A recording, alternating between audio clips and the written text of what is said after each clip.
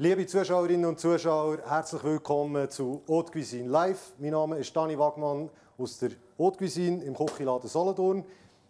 Ich bin Norman Hunziker, bin Koch und Geschäftsführer im Artist in Biel. Herzlich willkommen von meiner Seite. Und wie vorhin erwähnt, wir senden aus der Haute Cuisine. Die Haute Cuisine, ein Werk von Theo Bern. Auch er würde uns schnell gerne begrüßen. Auch von meiner Seite, hoi Dani, hoi Norman, wir sind Hennen gespannt und wir sind schon fiebernd am Bildschirm, was ihr uns für ein geniales Menü herzaubert. Unsere Kunden von Designküche möchte ich herzlich begrüßen. Schön habt ihr eingeschaltet und ich werde ganz sicher nicht enttäuscht werden. Wir genießen den Abend und ich gebe wieder zurück. Let's go! Merci Theo von Designküchen in Niederbipp. Danke. Ich würde gerne kurz schnell zwei, drei Worte verlieren, was euch in diesem Stream erwartet. Wir haben heute oben ein paar Links vorbereitet. Die einen finden die vielleicht oberhalb des Videos, die anderen unterhalb des Videos. Unter anderem dort zu finden einen Link zu dem Rezept, das wir heute oben werden zubereiten. Dann findet ihr dort einen Link zu verschiedenen Produkten, die der Norman während dieser Kochsendung wird einsetzen wird. Für die, die wissen, oh, das bräuchte ich vielleicht noch daheim. Zusätzlich für die, die unsere Sendung sehr cool finden, wir haben recht viel investiert in die ganze Sache. Wenn jemand etwas spenden an uns, das darf man auch machen. Wir haben Twin Donation Link. Ähm, es, es, gibt einen weiteren Link, zu dem kommen wir dann später noch. Den seht ihr vielleicht, die, die unten dran schauen oder oben dran. Jetzt würde ich eigentlich mal vom Norman wissen, was kochen wir heute in unserer Sendung? Genau. Heute Abend wir haben ein kleines Durchgang-Menü vorbereitet, das wir da werden machen, dort in Solothurn. Wir machen zum Start machen wir ein Rindstatar mit Spargel und einer Surahmcreme. Im Hauptgang machen wir Stör, ein Fisch, der oftmals in Vergessenheit geraten, mit Spinat äh, und Bärlauch und Topinambur dazu. Und im Dessert, mit dem fangen wir nicht an, gibt es eine Creme Brûlée mit einem selber gemachten Granola und Joghurt und karamellisierten weißen Schoki. Okay, cool. Also spannend. Wir haben im Hauptgang Fisch, habt ihr gehört. Äh, wir fangen mit dem Dessert an, ist auch ungewöhnlich. Also wir sehen jetzt eigentlich mal, wenn so ein Menü von einem Top-Gastronom zubereitet wird, wie der Ablauf ist. Wenn ihr Fragen habt, direkt zu uns hier im Studio, könnt ihr uns auch kontaktieren. Über eine WhatsApp-Nummer.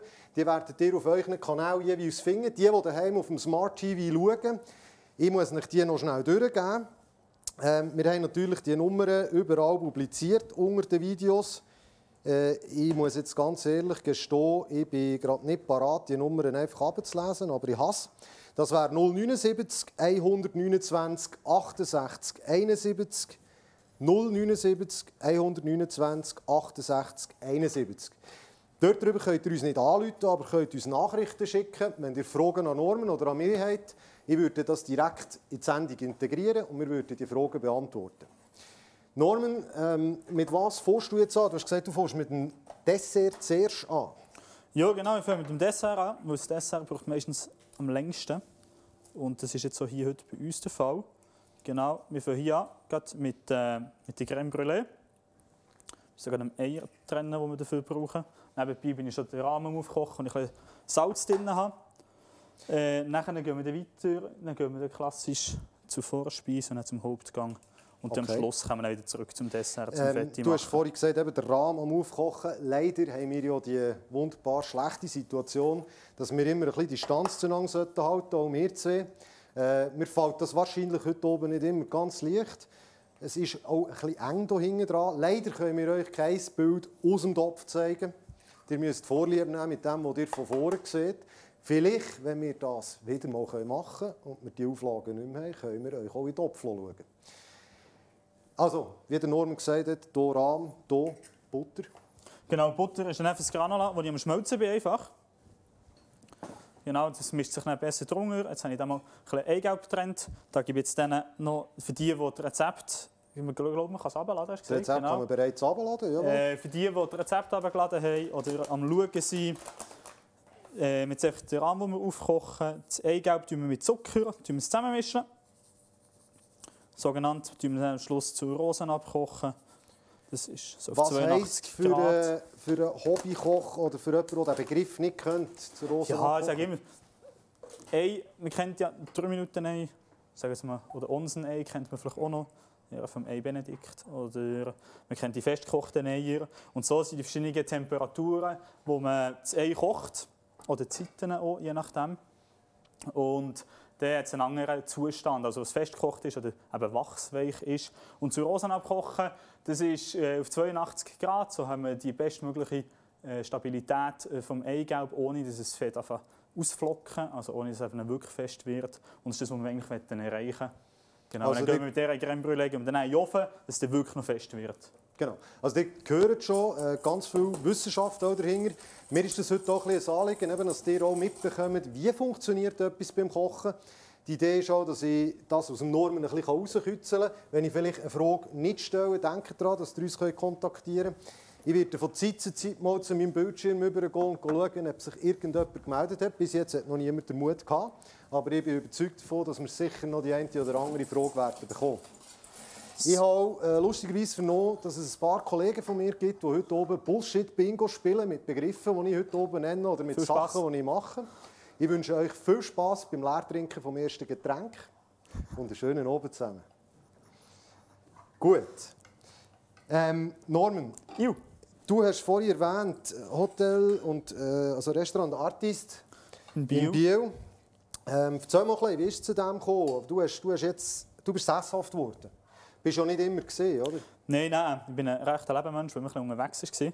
Äh, ist nach den verschiedenen Ausbildungen, die ich gemacht habe, als Bäcker, Konditor, Konfiseur und Koch, habe ich schnell mal selbstständig gemacht, verschiedene Caterings, Aufträge gemacht, als Privatkoch unterwegs gewesen für gewisse Persönlichkeiten. Ja, und irgendwann ist es zu, dass ich gesagt habe, ich muss sesshaft werden in einem Lokal, weil die Leute können nicht, also ich kann nicht immer zu den Leuten gehen, sondern die Leute wollen zu mir kommen ins Lokal. Wir haben umgeschaut, verschiedene Optionen geprüft, in verschiedenen Städten, Ortschaften. Mhm. Ja, und dann eigentlich das Konzept und meine Philosophie mit dem Swissness, äh, wo wir bei unserem Artist umsetzen und mit, wir legen sehr viel Wert auf Präzision, auf selber gemacht und eben Swiss made. Mhm. Eigentlich genau das, was Bio verkörpert mit ihrer mhm. Uhrenindustrie und dort haben wir uns wirklich gerade wunderbar ja. können positionieren Wie muss ich mir das vorstellen? Also, ich selber weiss ja, wie es sich anfühlt, bei dir dürfen zu essen, aber vielleicht für unsere Zuschauer, kurze Erklärung, wie, wie stellt man sich einen oben bei dir vor? Also, das ist ja nicht klassische Hocke in ein Restaurant an den Tisch, sondern das ist, äh, es ist ein Erlebnis, oder? Genau, wir wollen nicht nur Genuss bieten, sondern wir wollen auch ein Erlebnis bieten mit dem, was wir kochen, mit dem, was wir zelebrieren. Wir zelebrieren Schweizer Kulinarik. Zelebrieren. Wir kochen ausschließlich mit Schweizer Zutaten von verschiedenen Produzenten, Händlern, Züchter, Sammler, Jäger. Wir kochen, ich und mein Team.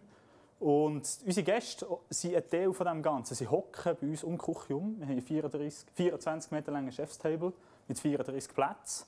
Wir haben zwei Kochinseln, ähnlich so wie hier, nicht ganz als der groß. Äh, und eine riesige Theke ringsherum, auch unser Chefstable. Und dort hocken Gäste und wir kochen, wir bedienen Gäste direkt mit unseren Kreationen und wir erklären was wir gekocht haben, wieso wir es gekocht haben, von wo wir es haben. Und nicht nur das Essen speziell, sondern jegliche Getränke bei uns sind hausgemacht. Okay. Genau, also wirklich am Gast kochen eigentlich. Das ist auch ein bisschen äh, Genau, ja. Und der Gast kann ich sage jetzt mal, wie einen Kochkurs, wie wir da gemeinsam mit uns einen Kochkurs machen, wo der Gast kann Fragen stellen mhm. oder der Teilnehmer und mhm. mitmachen ist es bei uns im Restaurant so, am Chefstable, die Leute können Fragen stellen, mitmachen können sie natürlich nicht. Aber es ist natürlich für die Leute spannend, weil sie können fragen hey, wie ist das gemacht oder von wo ja, hast du ja. das und so. Und auch für uns Köche oder auch unsere kulinarischen Artisten macht es viel mehr Spass, wenn man wirklich am Gast ist. Und meistens ist der Koch einfach so im Hinterkämmerli oder im Keller oder im Stock oben dran geschlossen. Ja, und Hallo sagen, wenn es höchstens, höchstens, höchstens ja. Gefühle. Genau, so, also, dann haben wir wieder zurückgestellt, mir an, dass der nicht äh, überkocht oder anbrennt. Genau, dann habe ich aufgekocht. Jetzt kann ich den einfach da ganz rühren. Kann ich den da ins Eigelb geben. Und das ist eigentlich jetzt der Moment, wo es eben zur Rose genau. ist, wo ja. die Temperatur also muss stimmen Genau, es sollte sicher nicht zu heiß sein, das sage ich immer schon langsam beigeben. So, dann wunderbar. Also.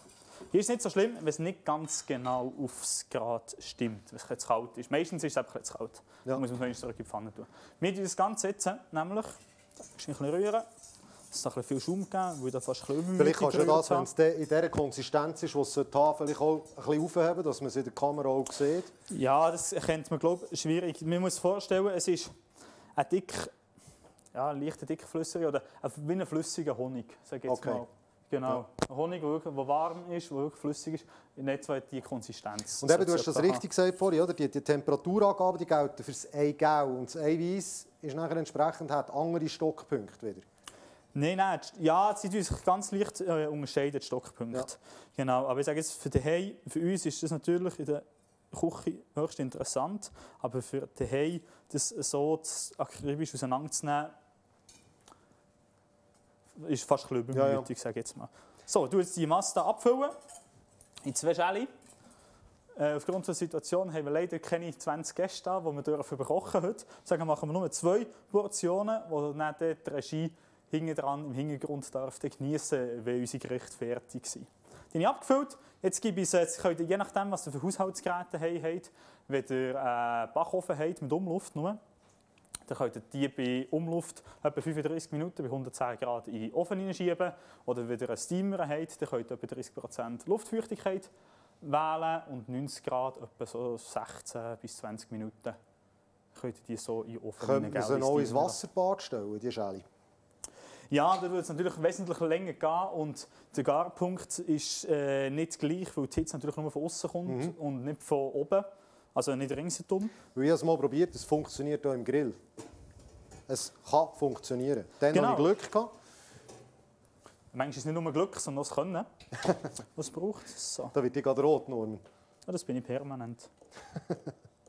also, Also eben, wir haben hier hinten einen Steamer, für die, die jetzt sich gefragt haben, wo er das hergeschoben hat, nicht in eine Schublade. Der ist hier hinten versteckt. Sieht ähnlich aus wie die Töpfe vorne, die werden wir nachher auch noch brauchen. Nur ist ein bisschen kleiner. Ja. So, genau, das haben wir drin. Gut, Wunderbar. Du sagst, wenn ich dir noch einmal zur Hand gehen Ja, also als nächstes machen wir ein Granola. Ein Granola, ist Granola. eigentlich wie eine Müsli-Mischung, äh, die wir machen. Und dort dazu zum Dessert kommt ebenfalls noch karamellisierte weiße Schoki. Weiße Schoki oder weiße Gouvitüre, die könnt ihr daheim, wenn ihr so Kochschoki habt, könnt ihr die oder noch Osterhas habt, die ihr nicht esst oder nicht möchtet, mögt essen, könnt ihr den klein schneiden, klein brechen. Das sind so bei uns sind das so Gouvitüre-Drops, die wir haben. Die kann man auf dem Blech verteilen, auf einem Backpapier. Dann kann man die bei 160 Grad etwa im Backofen bisschen backen. Ja, Schoki kann man backen. Der, der ganze Milchzucker und sonst Zucker, der drin ist, der tut karamellisieren und gibt eigentlich einen wunderschönen, feinen Geschmack. Äh, wie sagt man der, äh, Daniel? Wie sagt man dem Aufstrich, was es da gibt? Äh, wie Kondensmilch, Aufstrich, äh, karamellisierte Dul- Konden- Dulce de Leche. Genau, es kommt so geschmacklich so in die Richtung rein. Genau. Das tun wir dann in den Ofen rein, mit dem Granola zusammen. Das ist das, was wir jetzt gerade machen. Das kann man fast äh, miteinander in den Ofen rein tun. Das Granola ist wie eine Müsli-Mischung, die man machen kann. Das kann man ganz einfach machen für daheim. Ein bisschen vorbereitet natürlich. Genau, nehmen wir noch Schüssel raus. So. Also, dann haben wir eine Nussmischung, die ihr könnt nehmen könnt. Irgendeine, x-beliebige. Könnt ihr selber noch ein bisschen Nüsse habt, könnt ihr die zusammenmischen. Die tun wir da in die Schüssel rein. Dann haben wir Haferflöckchen, die wir dazugeben. In einer Pfanne, das ist das, was Dani schon erwähnt hat, habe ich ein bisschen flüssige Butter. Dann habe ich da von unserer selber gemachten Aprikosengonfi, die wir bei uns im Restaurant im Hotel verkaufen. Habe ich da so ein Löffel, das liegt natürlich auf der anderen Seite. So, geben wir ein bisschen Aprikosengonfi rein. Die könnt ihr sonst jensliche Konfitüre, die ihr daheim habt oder geschmacklich darauf Lust habt, könnt ihr beigeben. Das habe Cool ich so mit. Honig, mit wirklich gutem Honig. Das ist äh, ein Fläschchen von dir, gell? das ist dein eigenes Produkt. Genau, das ist Aprikosengonfi, die wir bei uns im Hotel, unseren Hotelgästen am Morgen servieren, die wir auch kaufen. Wir viele Geschäftsreisende, die, sind, die nehmen meistens so etwas, ein Souvenir mit Werbung in eigener Sache, oder? Hinten Genau, für die, die nicht unbedingt äh, auf Bio wollen fahren zu uns, um irgendeinen selber gemachten Senf oder Gewürzmischung oder Brotaufstrich zu holen, kann man jetzt bald online bei uns bestellen. Oder ebenfalls beim Dani, online. Vorbeikommen. Vorbeikommen, sobald wir wieder dürfen. Vorbeikommen ist fast am besten, Genau, sobald, sobald wieder darfst du die Laden auftun. Bei uns Gastronomie sieht es leider noch bisschen anders Das aus. ist ja so. Genau, also, die Butter geben wir jetzt hier rein, in das Ganze. So, jetzt habe ich nämlich schon Händchen an. Jetzt kann man das da ein bisschen durchmischen. Dass sich da der Butter, die Haferflöckchen, die Nüsse und der Aprikosengonfi gut mischen. Also. Also ich habe vorhin gerade eine Frage. Sorry. Ja, müsst Entschuldigung. schauen, wenn ihr daheim einen Umluftofen habt. Wenn ihr die Umluft könnt einstellen könnt, sie die ein bisschen zurücknehmen. Weil je nachdem schlagen euch sonst äh, die Haferflöckchen im Ofen rum. Und durch Butter und Konfi, die drin ist, kleben sie nicht im ganzen Ofen. Das ist ein bisschen mühsam. Oder es gibt so eine gute Regel, wer kocht, putzt nicht. Genau, vielleicht könnt ihr die auch anwenden. In diesem Fall. Ich hoffe es mal. Also ich habe vorhin gerade eine Frage bekommen, ähm? Cool. technische Frage eigentlich Ja. zu dieser Sendung, nämlich wie viele Kameraleute braucht das hinten dran? Das braucht in dem Sinn, wisst ihr was, wir machen es einfach, wir machen einen Wettbewerb. Was denkt ihr, wie viele Kameraleute braucht das, um uns so abzufilmen? Ihr wartet die Antworten, wir warten noch ein bisschen, was wir dazu sagen. Sicher ist einmal mal, dass die Kameraleute alle sehr weit auseinander sind. Also die, die unseren Laden kennen, die wissen, da ist genug Platz. Äh, ich gehe an Norman, muss Genau. zur Hang oder Genau, wir gehen jetzt da gerade beides in den Backofen rein. So. Ah, falsche Seite. So, das tun wir da rein. Schauen, dass ich den Jockey noch reinbringen dass wir den Backofen nutzen können. wunderbar. Genau, das tun wir etwa. Ja, wieso geht er nicht rein? Ah, jetzt sollte es gehen. Das Blech nicht ganz drin. gewesen. Sind mal sechs Minuten einstellen. Und dann können wir das Granola ganz leicht bewegen. Ein bisschen hin und her, dass ringsherum gleichmäßig geröstet wird. Und dort Schoki wir dann ein hin und her bewegen, nach sechs Minuten. Genau. Voilà, also wir haben einen ersten, einen ersten Tipp bekommen. Sie sagen, ein Kameramann. Nein, es sind drei Kameraleute, die wir hier haben. Wie gesagt, Jetzt du einem schnell Abstand. Ja, sind. Ah, musst du probieren, gell? genau. Äh, Norman, ich habe noch eine Frage an dich bekommen. Mhm. Und zwar, dein, ähm, dein Schnittlauchöl ist gefragt worden. Bist du nicht Lauchöl? Es hat sich jemand an das erinnert und würde gerne Bist du mal in wissen... einem Kochkurs oder bei uns Äh, essen? warte jetzt, die Person hat erwähnt, wie die Frage zustande ist. Ähm, das war an der Flavor Fair. Gewesen. An der Flavor Fair. Von Big Green Egg. hat dieses Jahr leider nicht stattgefunden. Wir haben uns mega Genau. gefreut. Wir haben ein cooles Gericht Und gehabt. dort haben wir, äh, Shrimps. die Frage ist von Tom. Er würde gerne wissen, wie man das Schnittlauchöl macht. Schnittlauchöl, also allgemein so Kräuteröl. Jetzt momentan Bärlauchöl. Wir haben mega viel äh, Bärlauch gesammelt, gehabt, ein Mitarbeiter und ich. Gerade am Anfang von dem Lockdown sind wir da im Wald gewesen, und es war alles überwuchert. gewesen. Das kann man natürlich auch mit Schnittlauch machen, mit Spinat, mit Peterli, mit, mit Rosmarin, mit Thymian und und und. Dann nehmt ihr einfach das Kräutchen, sie waschen, zupfen, sie zusammen mit, äh, in einen Mixer, rein, in einen Standmixer, in einen Moulinex, könnt auch mit einem Stabmixer, einem Messbecher, in, äh, wir machen es meistens im Thermomix, wenn wir größere Mengen machen. Dann tun wir Kräuter mit dem Öl, mit einem neutralen Öl, also Sonnenblumenöl, tun wir es mixen. Auf 60 Grad erwärmen, das Öl, 20 Minuten mixen. Dann tun wir es einmal ein Siebli absiebeln, dass wir das Kräuterstückchen wieder draussen haben. Und am Schluss tun wir es noch durch ein Passiertuch durchsiebeln, dass wir wirklich ein schönes, grünes, klares Öl bekommen. Und vor allem geschmacksintensiv. Also je mehr Kräuter das reingeben und weniger Öl, desto geschmacksintensiver wird das Ganze. Voilà, also habt ihr schon ein Bonusrezept bekommen. Merci vielmals, Norman. Genau, muss ein bisschen aufräumen. Das. Äh, Das mal, was ist der nächste Schritt, den wir machen? Der nächste Schritt, den wir machen, wir das Topinambur-Püree ansetzen. Jawohl. Das ist bereits schon für einen Hauptgang. Das Dessert läuft jetzt schon am meisten. Ich hoffe, wir vergessen unser Granola und äh, unsere weiße Schocke nicht im Ofen. Also für die, falls es Leute gibt von den Zuschauern, die Topinambur noch nie gesehen hätten, das wäre Ja. das. Topinambur, das ist so ein, ein, ein, ein Gemüse, wo nicht ganz alle gleicher Meinung sind. Die sagen, die Landwirte haben schon gesagt, das ist dummes Gemüse. äh, wenn eine Knolle im Boden ver, ver, vergisst, die kommt nächstes Jahr wieder und wieder. ja Die mal nicht auf so Feld dumm. Hast. Ja, mm, kommt immer darauf an. Sie sind nicht gleicher Meinung, sagen wir es so. genau. Ja, und die äh, Topinambur, die haben jetzt vom Stefan Brunner, vom Brunner Hof in Spins, das ist neben Arberg, der beliefert uns. Äh, ist ein sehr grosser Hof, der hat über 60 Gastarbeiter, die bei ihm auf, den Feldern arbeiten.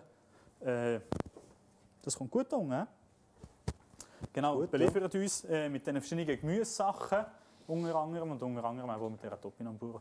Du dürftest die Stani mal mit Abstand zu mir schälen. Ich habe Ja. meinen Sparscheller. Voll schwarz, ja. Cool, der Stil. Also provozierst jetzt du Bullshit-Bingo, dass ich mir die Finger schneide. Zum Beispiel, ich hoffe Ich es. glaube, jetzt müssen sie schon wieder leer trinken. Ich glaube, sie haben ihren Spass, so wie wir hier Das könnte noch sein. kochen. Genau, kann man die ein bisschen äh, schälen und dann schneiden wir die klein. Schneiden. Ich tue unterdessen die Zwiebeln noch klein schneiden.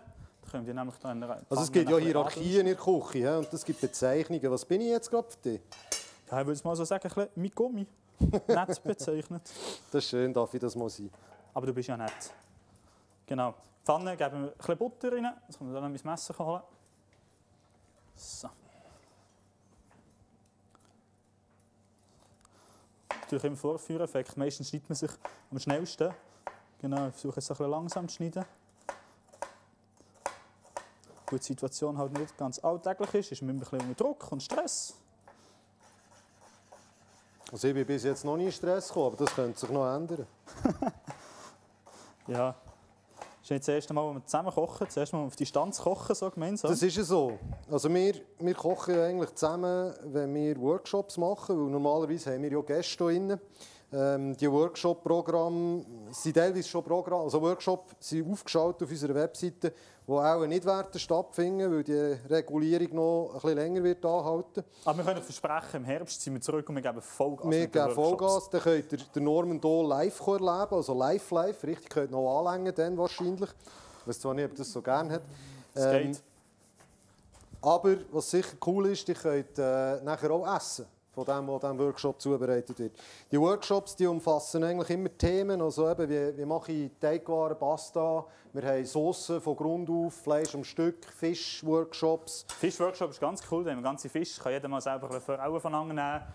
Wir haben mal wirklich eine ganze Lachsforelle da, wirklich so ein anständiges Stück von einem, äh, von einem Fisch. Dass man so mal sieht, wie groß so ein Fisch ist. Und die meisten Leute sind dort erstaunt, wie viel Abfall eigentlich Fisch gibt.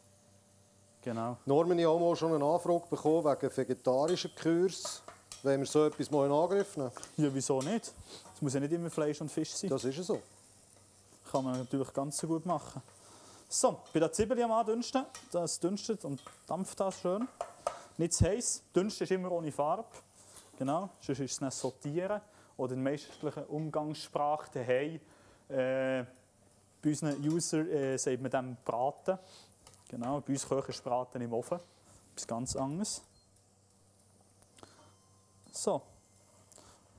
So, der Ofen läutet, da schon mit der Schocke. Du sagst ein bisschen Zwiebeln zurückstellen, bevor wir es nachher ablöschen.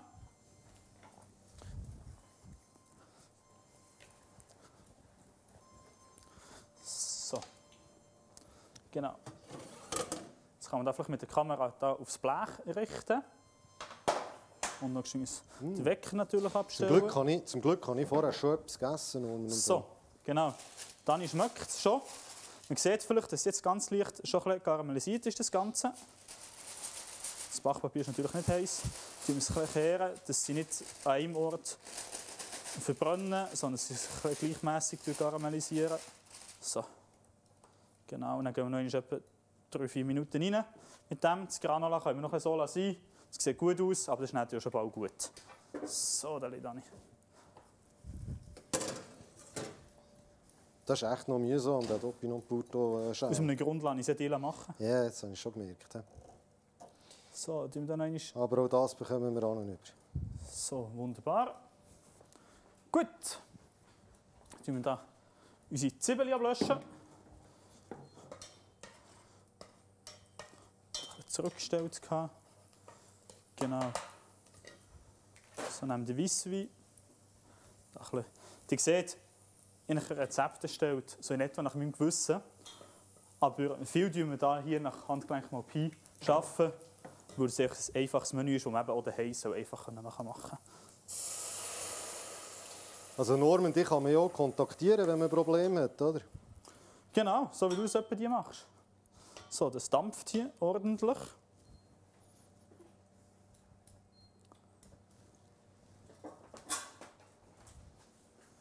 So, Kommt das gut? das kommt wunderbar. Ich bin immer noch am Zuschauen. So spannend bei euch. Mal eine Frage. Braucht ihr keinen Dampfabzug zum Kochen? Da könnte Theo noch recht haben. Da könnte Theo noch recht haben. Mo, wir hätten einen, aber wir natürlich... hätten einen. Dann lassen wir doch den rauf. Genau. So. Das so, schon. voilà. Ähm, der Theo hat natürlich recht, eigentlich sollten wir mit dem Dampfabzug kochen, aber dass ihr gleich noch wenigstens seht, dass wir nicht gar keinen Topf auf dem, auf dem Herd haben, äh, haben wir gesagt, wir verzichten darauf. Wir haben eigentlich nichts, wo wir so richtig heftig anbraten. Genau. Ähm, Dampfabzug in dieser Variante finde ich sehr cool, weil ich muss nicht mit Luft raus und das Ding das zieht jetzt wirklich ab, weil es eben nicht einfach in der Platte eingelassen ist, sondern die Geräte, das ist so für mich, sage jetzt mal für daheim wirklich der Rolls-Royce. Das ist ein Produkt von Whitehouse. Ähm, ich werde nachher noch ein bisschen mehr zu dieser Küche erzählen. Ich nehme euch die Sicht nicht länger weg, dass ihr weiterhin seht, dass wir euch nicht äh, etwas vorspielen. Hier. Die schöne Pfanne gesehen. Gell, die schöne Pfanne Ah, seht. alles klar. Das ist eigentlich auch die Idee, dass man Dampfabzug zum Kochen braucht. Merci Theo für den Tipp, ich hätte es fast vergessen. Ähm, natürlich Dampfabzug immer einschalten, wenn wir äh, härter Zeug anbraten. Genau. So, hast du die Topinambur Ja, fertig? kommt gerade noch, kommt gerade. Willst du ein paar? Ja, gib mal ein paar. Ich kann die mal ein bisschen einschneiden und beigeben. Voilà, Dankeschön. bitteschön. Genau. Die, die Topinambur noch nie gegessen haben, die kann man auch ganz gut äh, roh essen. Man kann sie mit der Schale essen. Wir tun sie jetzt äh, schälen. ist ein bisschen mühsam. Aber beim Kochen, wenn man Suppe machen will oder so, äh, wird die Schale eben ganz hart. Und das ist eben nicht so, nicht, nein, nicht so gäbig für eine Suppe oder für ein, äh, für ein Püree zu machen. Genau. Ist auch sicher ein Gemüse, das ein bisschen Hype ist. Wenn man ein bisschen aufkommt, sieht man in vielen Gourmet-Restaurants, unterdessen auch schon einfache Gasthöfe, äh, ist sehr ein mildes. Man muss beim Würzen immer aufpassen, dass man es nicht überwürzen. Vor allem mit dem Salz muss man immer ein fein arbeiten. Ich sage jetzt mal, es ist so wie eine, wie eine feine Williamsbeere, ist das eigentlich auch so ist das recht zu vergleichen, geschmacklich. Also leichte Süße, aber gleich leichte Erdigkeit. Genau. So. Hast du die letzte, Dani? Du, äh, ja, komm. Was noch wichtig ist, die kleinen... Ja, ich habe glaube etwas kaputt gemacht. Nein, jetzt hast du mich... Das ist gerade noch blöd. Ich versuche das nachher zu flicken, gell? Sorry. Zum Glück sind wir im Küchenladen, können wir wieder rein. Willst du gerade den neuen? Willst du gerade den neuen? Ja, Ja, vier verschiedene oder fünf bitte. verschiedene Farben in schwarz. Ja, den bringen wir schon wieder her. wir legen, wir legen bei uns viel Wert auf Ästhetik und Design. So, ich gehe nächstes So. Mal schauen, ob wir wieder eine Frage bekommen haben. Genau, also unser Granola ist fertig. Es kommt dann fast ein bisschen Stress hier. Ich habe immer noch keinen Stress. Gehabt. So. Ich sehe, dass das Jockey wirklich rausnimmt. Und ich denke, ja, das Ofentür ich kann man noch ein bisschen auftun. Das Jockey lassen, die verbrennt ihm dann. Da aufpassen, das Blech, das ist aber noch heiß. Und das karamellisiert dann nachher. So, jetzt seht ihr richtig, dass es schön karamellisiert ist. Sie sitzt soll dem Benny hinter der Kamera einen Gruß sagen übrigens. dann hinter der Kamera. Also nicht an uns. Benny. So, nehmen wir das weg vom Blech hier, dass es auskühlen kann. Genau, und das Granola nehmen wir ebenfalls gleich raus.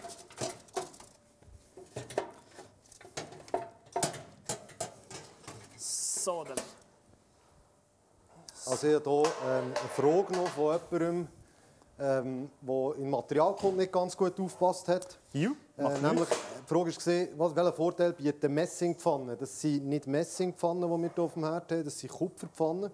Der Vorteil von Kupfer liegt ganz klar dort drin, dass es äh, ein extrem hoher, also extrem wärmeleitfähig ist und durch das eben auch die Möglichkeit bietet, sehr schnell die Temperatur im Kochgefäß zu wechseln, sprich aufzufahren oder runterzufahren.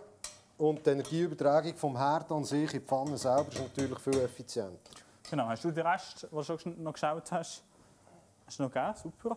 Ja. Dann schaue ich drin. Ja. Gut, geben wir dem Ganzen noch ein bisschen, ich noch nicht ganz wenig Weisswein. Weisswein immer la- reduzieren. Allgemein die Weine oder Spirituosen, haben die wir eingeben. ein Glas zum Trinken? Also ich heiß dort hin. Ja, aber ich würde gerne ein Glas Weiss. Aha, Nein, auf das kann ich verzichten. Ich bin am Also. Kochen. Ups. So. Dann geben wir da noch ein bisschen Rahm dazu und das Ganze gemütlich einkochen Dass wir das dann nachher noch zu einem Püree verarbeiten können. Für ein Püree äh, bringt es nichts, wenn das schnell und heiß kochen, das verbrennt es nicht meistens, sondern lasst euch da ein bisschen Zeit auf mittlerer Stufe gemütlich einköcheln. Genau. Und immer ein bisschen mit knapp Flüssigkeit, nie zu viel Flüssigkeit, weil Flüssigkeit nachher ist immer einfacher als wegzunehmen. So, da läutet es schon wieder, es hupet. Geschwind schauen. Jetzt könnt ihr leider nicht hineinschauen. Aber ich kann euch dann auch zeigen, wie sie gut sind. Das ist ja schön, da Ah, kann das ich ist noch noch Fragen beantworten. Es geht noch eine Weile. Darf ich das nachher, wenn es fertig ist, rausnehmen und sagen, ich habe da mal was vorbereitet? Nein, das machen sie in anderen Kochsendungen nicht Ah, bei uns. Mist, ich wollte das schon lange mal machen. Ei, ei, ei. Ähm, gell, wir gehen nachher noch raus miteinander. Ja, wir gehen auch noch ins Greenex, gehen wir noch etwas Super. Grillieren Wir natürlich. haben nämlich den Grill angeführt draussen. Ich kann nicht ohne grillieren. Ich komme gerade eine, eine Live-Übersicht über vom äh, Wagis Bullshit Bingo. Äh, ich sollte mich noch, ah, ich sollte mich noch CEO vom Küchenladen nennen. Ich wünsche euch äh, ein gutes Essen von einem Getränk. Oder sicher rein. Nein, definitiv nicht. Genau. Also, wir gehen weiter. Äh, Im Hauptgang haben wir gesagt, äh, gibt es etwas mit Fisch, mit Stör. Genau, auch schon. Stör speziell, kommt man Stör im normalen ähm, Fischfachhandel, sage ich jetzt mal, kommt man das über? Im normalen Fischfachhandel bekommt man den. Ja, ich hoffe, ihr versteht mich da, wenn ich da vor dem Kühlschrank knäule. Kommen wir gerade. So, wieder zurück. Küche. Ja, Stör bekommt man über. Für die, die mal Richtung Berner Oberland gehen, äh, jetzt nachdem wir dort locker wieder los sind, kann man wieder ins Fruchtige ins Tropenhaus gehen. Dort äh, werden da Störe gezüchtet. Stör ist auch der Fisch, der Kaviar macht. Genau. Die meisten Leute kennen nur den Kaviar von diesem Fisch. Die wenigsten haben den schon mal gegessen, aus Fleisch. Bei uns servieren wir den. Aktuell kann ich es nicht sagen, weil wir haben aktuell nicht offen aber bis anhin haben wir den bei uns serviert und haben ja gesagt, hey, komm, wir machen etwas mit Stör. Das den Leuten zeigen, weil Frauen und Egli kennt jeder. Stör noch nicht. Genau. So. Ähm, was ist die Idee? Wie wirst du den Stör zubereiten? Den Stör werden wir äh, zuerst beizen. Dann habe ich einen Salzlaken gekocht, für euch daheim auf dem Bildschirm. Sieht das aus, so ein viereckiges Gefäß mit bisschen Wasser drin. Ja, aber in diesem Wasser ist 10% Salz drin. Also äh, auf 1 Liter Wasser sind etwa 100 Gramm Salz drin. Das tue ich aufkochen gemeinsam, dass sich Salz auflöst. Und dann es abkühlen. Und dann gebe ich den Fisch, den ich bereits von angenommen habe, in gerätet habe, gebe jetzt da etwa für 20 Minuten rein. Und durch das konzentrierte Salzwasser tut es dann schön ringsherum gleichmäßig würzen, salzen oder eben beizen. Durch das haben wir ein viel gleichmäßiges Geschmacksbild. Äh, von der Konsistenz her viel gleichmäßiger. Wo wir einfach über einen Fisch nur so ein bisschen Salz drüber streuen, wäre es nie gleichmäßig. Äh, und es würde das Fleisch Hat das noch einen individuell anderen Einfluss, garen. das Beizen? Ja, es tut den Fisch an und für sich auch schon leicht garen. Die meisten kennen sicher den Lachs, beizten Lachs. Äh, das kann man auch mit Frauen machen, mit Lachsfrauen. Oder mit einem Hecht. Viele Leute haben ja ein Problem. Meistens ist es so, wenn der Lachs, wenn man jetzt zum Beispiel auf dem Dann wir es wieder in Holzbrett, Kühle. Natürlich. wenn man jetzt zum Beispiel auf dem Holzbrett im, im Grill macht, oder, haben ja viele Leute das Problem. Einerseits ist er dann meistens schon ein bisschen zu lang drin, wenn das Eiweiß austritt. Ja, dann ist es spät. Ähm, man kann dem aber auch noch ein bisschen entgegenwirken, dass das nicht zu früh austritt, wenn man, es eben auch, wenn man ihn eben auch beizt. Das ist richtig. genau. Genau. Also die heute auch der Lachs, wenn ihr ihn auf dem Grill wollt machen einerseits eben nicht zu lang oder nicht zu heiß machen. Äh, die, die Kerntemperaturen messen, was würdest du empfehlen? Zwischen 44 bis 49 Grad Maximum? Es kommt immer auf den Fisch drauf an. Der Stör ist jetzt ein recht fester von der Konsistenz her Fisch und ein recht intensiver Fisch. Äh, geschmacklich ist sicher nicht jedermanns Sache, aber den garen wir jetzt auf 49 Grad, dem sous vide Mhm. Dann Topinambur ein bisschen rühren, so ein Schnittbrettchen wechseln, das Messer waschen. Dann kann man vielleicht schon das Messer waschen. Soll ich rühren oder waschen? Lieber schön abwaschen. Okay, aber nicht, dass ich mich schneide. Das hoffe ich nicht. Genau. So. Also, das grosse Schnittbrett. Ich weiß nicht, ob die das jetzt sehen hier vorne, aber ich tue dieses Messer jetzt ganz speziell abwaschen. Das ist eine coole Funktion. Mit dem Quaker. Kochendes Wasser. So, legen wir dann So. neue Händchen an. Es wäre noch von Vorteil, wenn ich ein Tüchlein hier hätte. Gell? Das ist so. Ich gehe Lumpen schnell und Tüchli. holen. Wunderbar. Also, wir gehen als nächstes zum Rindstataren. Ich denke schon, die einen oder anderen Leute von euch, die schon mal so eins daheim zubereitet. Da kann man ganz viele verschiedene Sachen drin tun. Wir machen das jetzt recht roh, sage ich. Ja, das Tatar ist roh, ganz klar, Entschuldigung, äh, Versprecher. Äh, sondern ich arbeite mit verschiedenen Kräutern, arbeite da mit geröstetem Baumnussöl, arbeiten wir da Baupknollen, der frisch oder der alt, äh, eignen sich ganz gut für das rein zu äh, oder zu bröckeln. Äh, Möglichkeiten sind, da kannst du mir das Messer geben, Dani, da dem Messerblock. Super. Ist der heiß? Gut. Ja, das Fleisch brauche ich. Das ist, finde es so schön, dass du abwäschst für mich. Gell? Ja, das habe ich noch in keinem Workshop erlebt, aber das können wir beibehalten, hoffentlich. Genau, ich habe hier Ich muss schauen, Rindshuft. dass du wieder kommst, oder? Das ist so. Ich habe hier Rindshuftfleisch äh, bekommen von unserem Metzger, wo wir es klein schneiden von Hand. Die meisten äh, kennen Tartar, denke ich mal. Viele haben solche so in Würstchen, kann man es kaufen, ist sicher gute Qualität, aber noch viel besser ist durch frisch abschneiden. Wenn ihr zum Metzger geht, von ihm vertrauen und Fleisch holen, bitte sagt ihm, dass ihr aus dem Fleisch ein Tatar machen wollt. Meistens hat er noch gewisse Stücke, die wirklich ganz frisch sind. Also frisch heisst nicht gelagert. Das Rindfleisch sollte ja gelagert sein, bevor man es zubereitet zum Essen, dass es so wirklich geschmacksintensiv und zart ist. Und weil man ja das Tatar roh isst, sollte es wirklich junges oder respektive eben frisches Fleisch vom Schlachtdatum her noch nicht so lang gelagert ist, was passiert kaufen. eigentlich beim, beim Reifen von Fleisch? Also, was ist der, der Prozess dahinter im, im Fleisch selber? Du hast vorhin gesagt, eben, es, wird, es wird geschmackvoller, es wird zarter. Ja, der, der ganze pH-Wert ändert sich, äh, die Muskulaturen entspannen sich, weil die sind ja natürlich äh, leicht übersäuert durch die ganzen Stresssituationen und alles. Aber ich glaube, näher darauf eingehen, da müsst ihr einen Metzger fragen. Ganz ehrlich. Also, ihr habt auch gehört, eben, best, am besten zum Metzger vom Vertrauen einkaufen. Ähm, hast du Tipps hier in der Region? Ja, es gibt ganz viele äh, Metzger hier in der Region, Beispiel in Selzach, Metzgerei Scholl, das Familientraditionsunternehmen. einer von zwei in Kanton Genau. Solothurn, der selber noch darf schlachten Genau, darf, der nicht von Bell kommt. äh, ja. Familie Neuhaus in Grenchen. Ja. Genau, oder sonst sind noch viele äh, Bauernhöfe oder Landwirte. Metzgerei Fischer Längendorf ist auch so einer. Genau, ja, habe ich ganz vergessen. Sehr, sehr gute Schon noch so Produkte hat. Ja. Und Äh, natürlich hier in der Stadt haben wir noch... Der, äh, wir haben noch einen Metzger in der Stadt, der Auch nicht selbstverständlich. Der letzte noch von seiner Zunft bei uns. Das ist eigentlich schon bedenklich. Früher waren Ja. es noch so viele Bäcker und äh, Metzger und Käser gewesen in diesen Ortschaften, in diesen Dörfern, in diesen Städten. Ich kenne es ja selber von meinen Eltern her. Das ist, das sage ich jetzt mit die, die man noch hat. Also wir haben wieder eine Frage, Norman, von Lukas. Ähm, er fragt, wenn, wenn du Stör kaufst, also gibt's da, ist der in einer Größe erhältlich oder äh, gibt es da verschiedene Grössen? Und für wie viele Personen, wenn du einen Fisch kaufst, wie viele Personen kannst du mit dem arbeiten? Also Stör, die werden eigentlich nur geschlachtet, oder fast nur, wenn man den Kaviar ernten will. Den kann man nicht lebendig ernten. Der Kaviar das die Eier äh, vom Stör, was eigentlich Nachwuchs wird geben Entsprechend müssen sie geschlechtsreif sein und dann haben sie auch eine gewisse Mindestgröße, natürlich anhand von ihrem Alter. Ja, mal, ich tue in Freizeit, wenn ich dazu komme, gehe ich etwa auf Frankreich Karpfen und Welsfischen.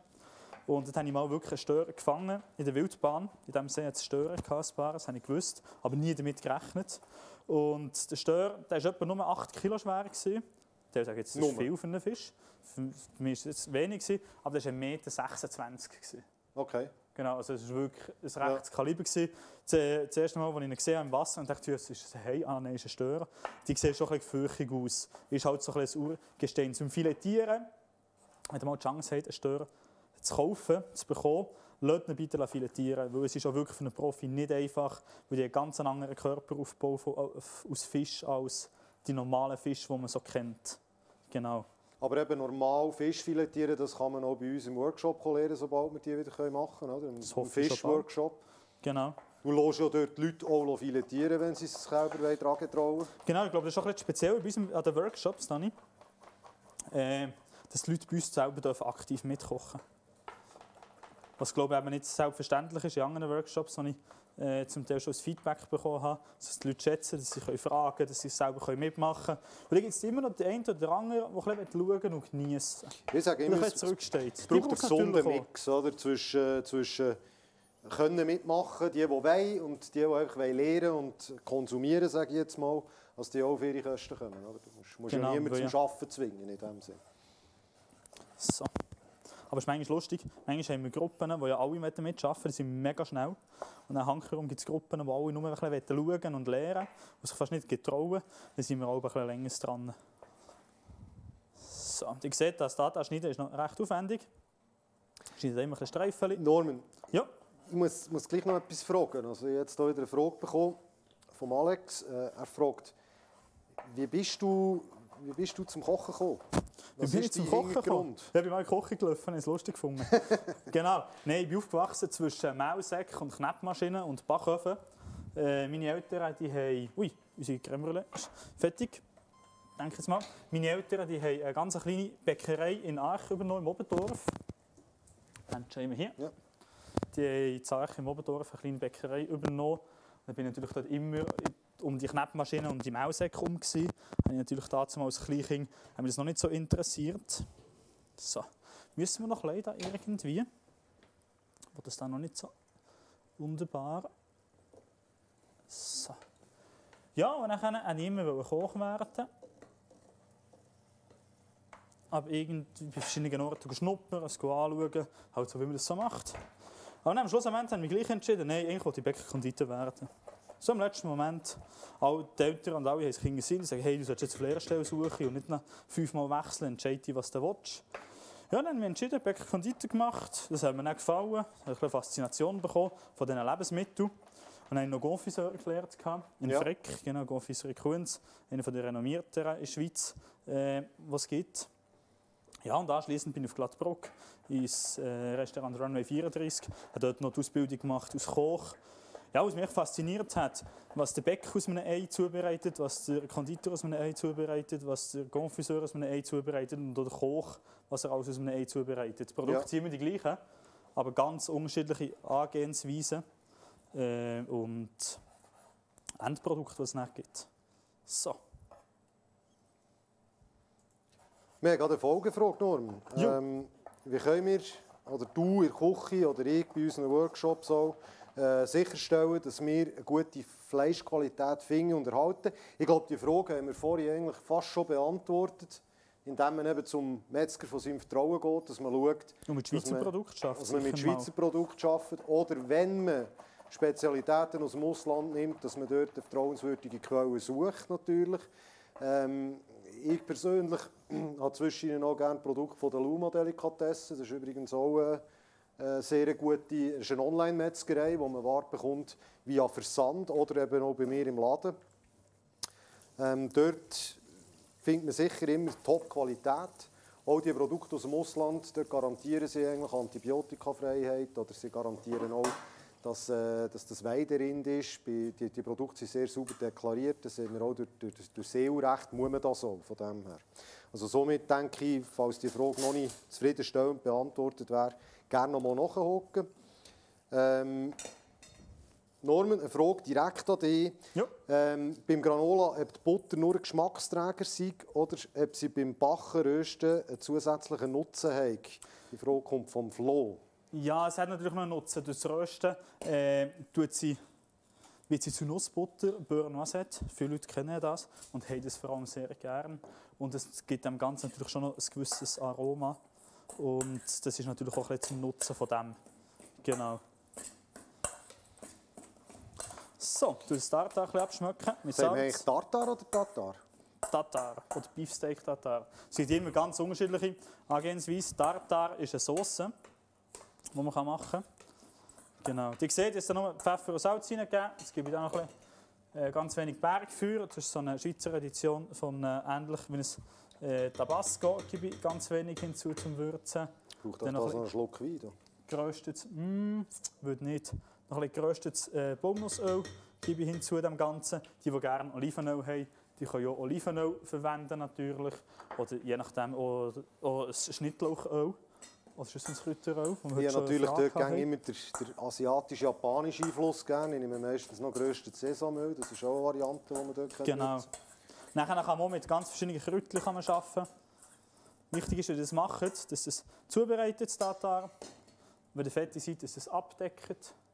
in den Kühlschrank tut und dann kurz vor dem Servieren noch einmal abschmecken. Das machen wir dann auch. Das Messer nehmen. So. Und dann noch ein Schnittlauch schneiden für rein. Auf meinem Rezept habe ich glaube ganz verschiedene Kräutchen drauf. Das ist einfach noch so ein bisschen ausgeschmacksgebend. Genau. So, das längt glaube ich schon. Das sind nur zwei Portionen, die ich anrichte. So. Gut, komme ich wieder Hunger über. Aus. So, das da hinten Telefonfolie abdecken. Wer isst das Menü eigentlich, ist die Frage. Ja, eben, wie gesagt, wir dürfen leider keine 10 äh, Gäste haben. Das können wir essen. Das sagen wir nur zwei Portionen. Das ist schon mal äh, erwähnt. Gehabt. Ich muss dann nachstellen, bin ich fast sicher. Äh, das ist die Regie nachher. Hinten genau. dran, wo schön am alles zusammenschneiden ist. Dann sind wir natürlich dankbar. Die werden in Genuss kommen von diesem Menü. So, ich stoppe am Bauernmenü. Rühre köcheln auch schon gemütlich. Ich ein zurückstellen auf diesem Herd. Damit alle Zellophanfolie abdecken.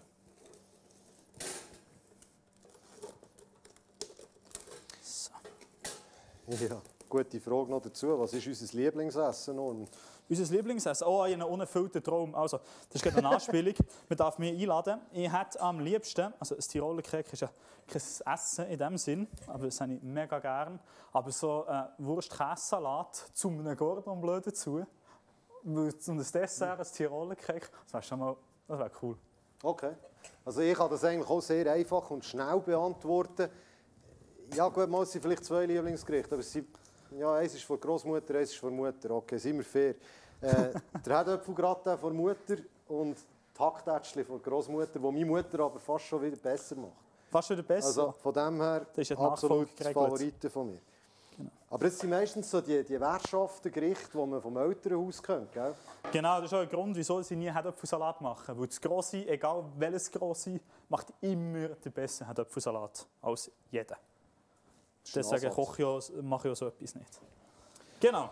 So, Norman, wir sind ähm, zeitlich extrem viel am Reden, aber ich glaube, den Zuschauern gefällt es. Also, ich habe zwar keine aktuellen Zuschauerzahlen von der Regie, aber... Ähm, ist noch schwierig, glaube von diesen verschiedenen Kanälen Wenn sie uns noch nicht abgestellt haben, schauen auch noch Leute zu von dem her. Bin ich froh. Äh, ja, was ist der nächste Schritt? Wir geben Gas. Wir gehen Zuramsauce. Surrahmsauce. Ich hoffe nicht, dass es noch langweilig wird, Zuschauer. Also sonst müsst ihr uns wirklich rückmelden per WhatsApp. Äh, wenn wir das Tempo sollen erhöhen oder nicht so viel Seich lieren.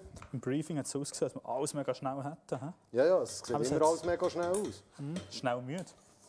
So, also Surrahmsauce, etwas ganz Einfaches. Wir können zum Tartar dem Ganzen noch, noch etwas Fettiges geben, so etwas Cremiges. Ich habe Surrahm genommen, da könnt ihr, rein, könnt ihr Kräutchen reinhacken. Die könnt äh, das ist nur ein bisschen mit Pfeffer würzen, ein bisschen mit Salz. Und dann arbeite ich ganz gerne, die, die schon mal in einem Workshop bei mir waren, mit verschiedenen Pfeffern.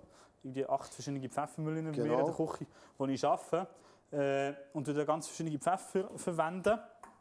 Pfeffer, das zu sagen, ist eines von drei Produkten, die wir bei uns im Restaurant nicht aus der Schweiz haben.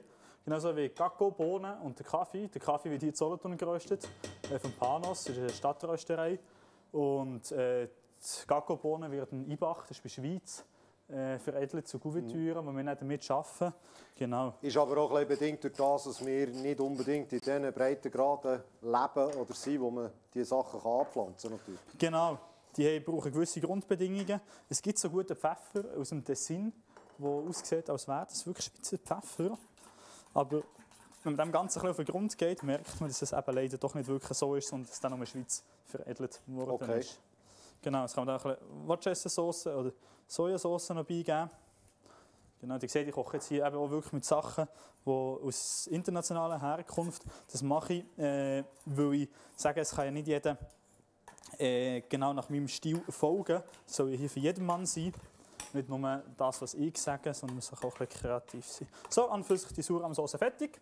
Die wir wieder kühlen, bis es zum Anrichten geht. Es gut? Ja. Wo kommen wir als nächstes hin, Dani? Ja, so die Liste sagt äh, Spargelschälen. Spargel? Ah, Dani, das kannst doch du. Das ist cool. Vielleicht machst du es nicht wieder kaputt. Genau. Ja, also, der halt. Müssen wir die Kommst überhaupt schälen? Kommst du in Stress? Müssen wir die? Ja, jetzt bin ich langsam ein bisschen im Stress. So. Oh je. Müssen wir die überhaupt schälen?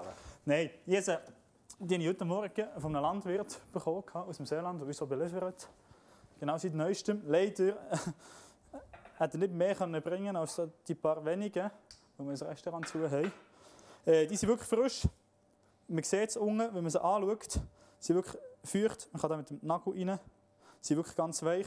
Die kann man so lassen an und für sich. Spargel kann man roh essen, muss man nicht immer verkochen.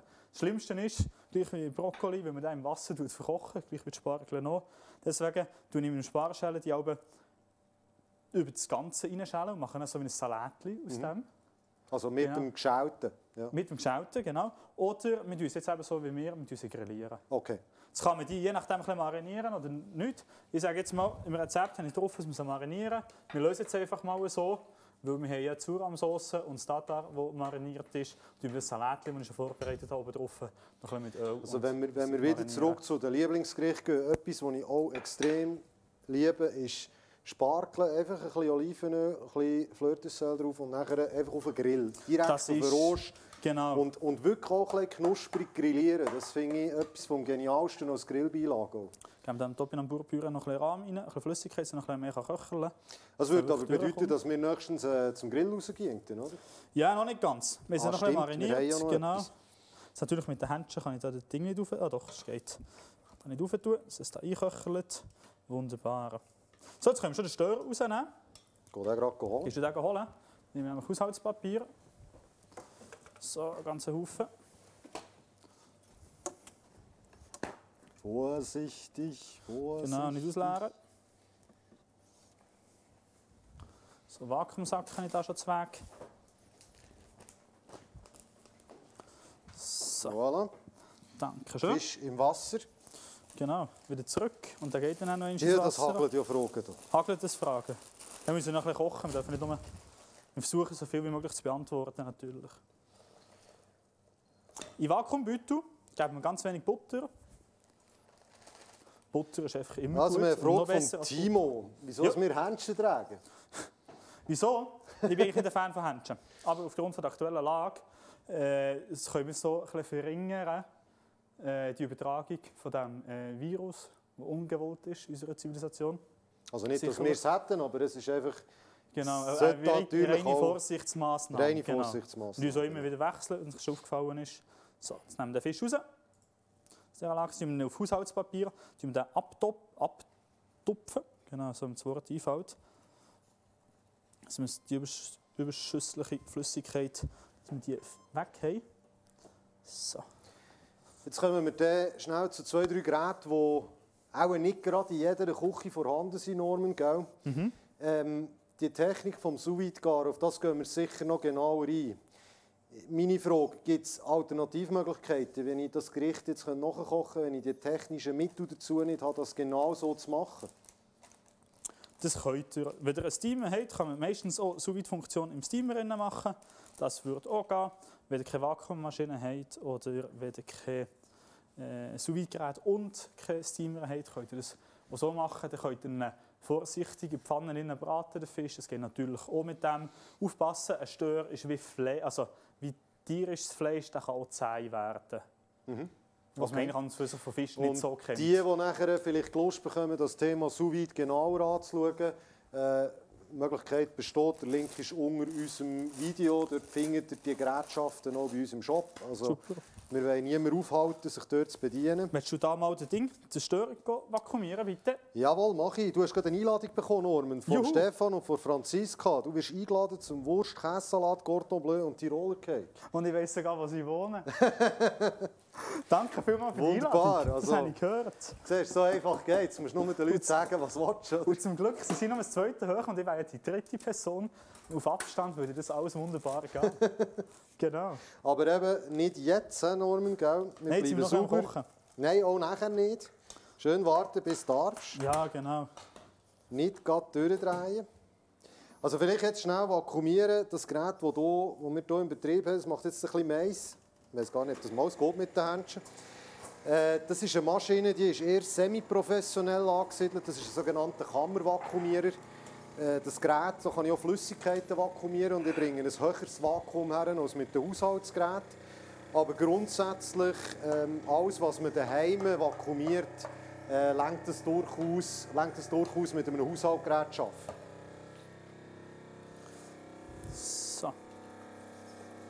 Du bist jetzt am Abschmecken. Nein, noch nicht. Ich bin Noch noch ein bisschen nicht? am Würzen. Genau. Und dann mixen. Viele Leute haben immer ein Problem, die brauchen in den Rezept sehr genaue Angaben von der Gewürze. Auch äh. Wir warten schnell, bis unser, äh, unser Schreihaus der Däne seinen Job gemacht hat. So, dann. Es kann sich nur um Stunden handeln. Nein, das haben wir jetzt gerade.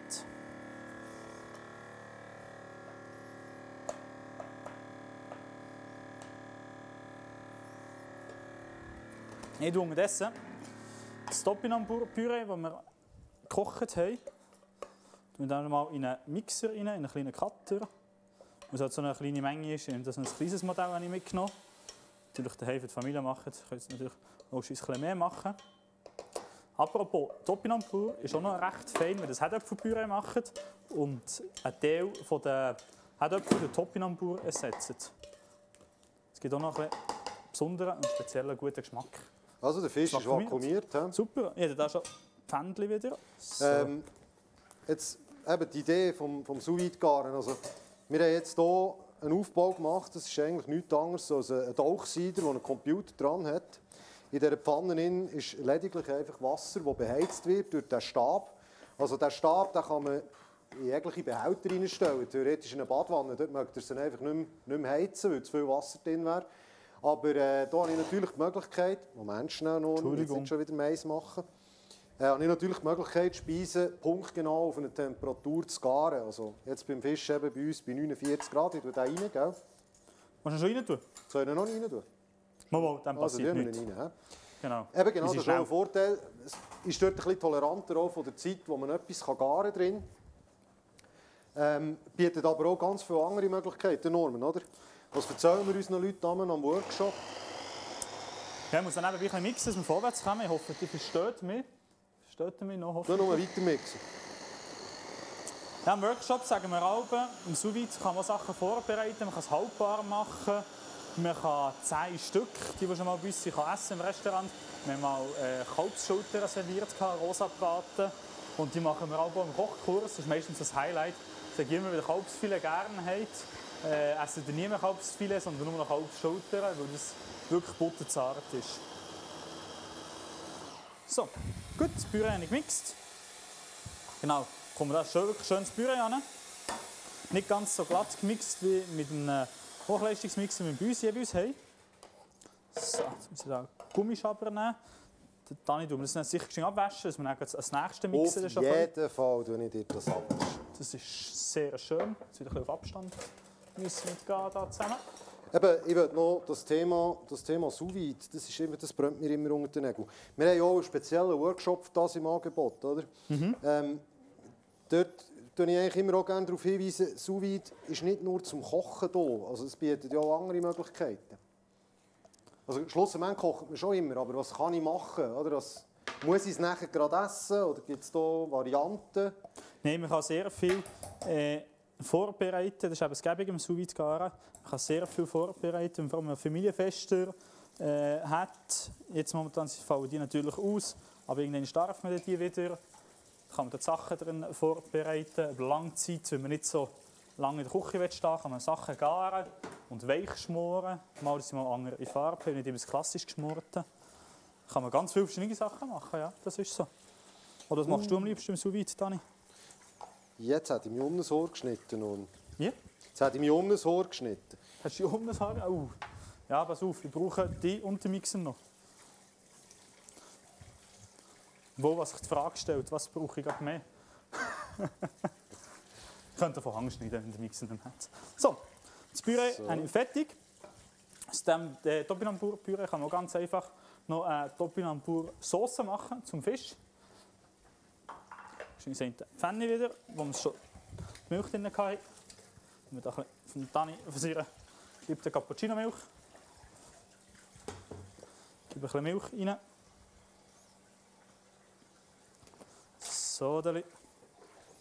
Ich gebe da ganz wenig von dem Püree rein, ein Löffel. Vielleicht ein mehr. So. Und dann kann ich es mit dem Schwingbesen gäbig aufrühren. Und dann kann man das leicht aufschäumen, dann zum Anrichten. Genau, Schwingbesen sollte ich da parat gelegt haben. Genau, habe ich. So. Das muss man natürlich, wenn man jetzt da wieder ein Flüssigkeit nachgegeben hat, wieder abschmecken. Du machst das super, Dani. Du gell, ich habe es nicht kaputt gemacht. Hast du nicht kaputt gemacht? Nein, nein, nein, das kann man dran tun. Du hast heute schon etwas kaputt gemacht, das Wer längt. weiss. Aber hier sind wir an der Quelle von diesen Produkten. Genau, So, ich habe vorhin sogar herausgefunden, dass man das Ding auch bei uns kaufen kann. Das ist gut. Von euch habe ich es ja, glaube ich. Also eigentlich überzeugend. So, als nächstes gehen wir ans Bärlauchpesto. Jetzt ist Bärlauchzeit. Die, die jetzt da äh, draussen waren, haben es sicher geschmeckt oder gesehen. Viele, als ich auf dem äh, Velo war, ist mir aufgefallen und sind eben einmal sammeln, wie ich schon gesagt habe. Bärlauch. Ui. So, wie man ihn kennt, den haben wir gewaschen. Da meine Dinge habe. So, das Messer einsetzen. Bärlauch, den könnt ihr so in den Mixer rein tun. Da oder da habe ich ein Rezept gemacht, so ein Bärlauchbaguette. Aber ich finde, da braucht es nicht unbedingt ein Rezept dazu, sondern das kann man ein bisschen handgelenkig mal Pi machen. Apropos Pi, wir haben hier noch Pinienkerne. Viele sagen jetzt, ja, die muss man rösten. Ja, für ein Pesto würde ich die auch rösten. Aber wir machen ja ein Bärlauchbaguette und geben es dann aufs Greenegg. Dann tut es dort von der Hitze her rösten. So. Am Ganzen kommt natürlich noch ein bisschen Öl dazu. Sonnenblumenöl. Jetzt wirklich so eine Fanseite von Olivenöl, könnt ihr auch gerne Olivenöl nehmen. Immer ganz nach dem Geschmack. Genau. Ich gebe dem immer noch ganz wenig Rosmarin und Thymian bei, weil ich es geschmacklich noch cool finde, so ein eine Ergänzung. Rausschmecken effektiv tut man es nicht, aber es gibt eben noch so ein bisschen, noch so ein bisschen mehr Wumms, sage ich auch. So. Pfeffer und Salz. Dann habe ich noch Käse, geriebene Sprints. Habe ich noch im Kühlschrank, kann ich auch noch dazugeben und mitmixen. So, ganz wenig Beerengefühl tue ich wieder hinzu. Zum Abschmecken dem Ganzen. Wunderbar. Ah, der Käse natürlich noch. Dani, hast du wieder Fragen? Oder was Ja, du eine habe ich. Es ist wieder eine Frage aus dem Fleischsegment. Fleischsegment. Ja, es ist eine eine Frage von Beat. Er fragt, die Tendenz zu spüren sei, dass vermehrt Teile vom Tier verwendet werden, wo man heute nicht mehr, oder früher eher gegessen hat, also eben die, die sogenannten Second Cuts. Ist ja, glaube auch bei euch ein Thema oder, in der Küche, dass ihr euch auf Teile konzentriert, die man bisher eher nicht mehr so gebraucht hat. Genau, unbedingt. Und eben auch mit äh, so Garment oder wie sous vide kann man da recht viel, das kann man so Teile recht attraktiv machen, geschmacklich und vor allem konsistenzhaft. So ein bisschen mixen nebenbei noch. Und genau dieser Trend ist natürlich äh, nicht nur bei uns in der Gastronomie, sondern glaube auch im Haushalt angekommen. unterdessen, Ja. Also ganz, ja, ganz ehrlich, ich, ich kann schon weiter mixen. Es Das ist glaub das Thema. einklemmt. So. Ähm, ich ganz ehrlich, ja auch, vom, vom Rind gibt es zwei, drei Stück, die wahrscheinlich niemand wirklich kennt. Das finde ich die besten Stücke. Also, habe ich dann lieber äh, allseits gehört als viele. Spannend ist, dass jetzt so Second Cuts zum Teil schon Preise aber erreicht haben, wie, äh, eben wie die Edelstücke. Ja. Und das ist das Erstaunliche, wenn man so bedenkt, ein Kalbskopfbäckchen. Äh, ja, das ist so um Weihnachtszeit um etwas recht Delikates. Es kommen immer wie mehr Fragen. Gut, also spannend. unser Bärlauch Pesto oder da für unser Baguette, das haben wir. Schnell schauen, wo wir da sind. Genau, also, jetzt können wir da nämlich das Brot schon schneiden, das.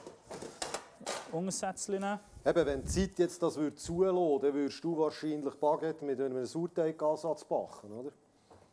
Ja, das machen wir auch. Die, die bei uns schon mal essen, das schauen sicher, oder hoffentlich ein paar Leute zu, schon mal bei uns essen, das Biomarkt ist. Äh, und da wissen sie, dass wir wirklich das Brotbuffet servieren, so einem Buchladen.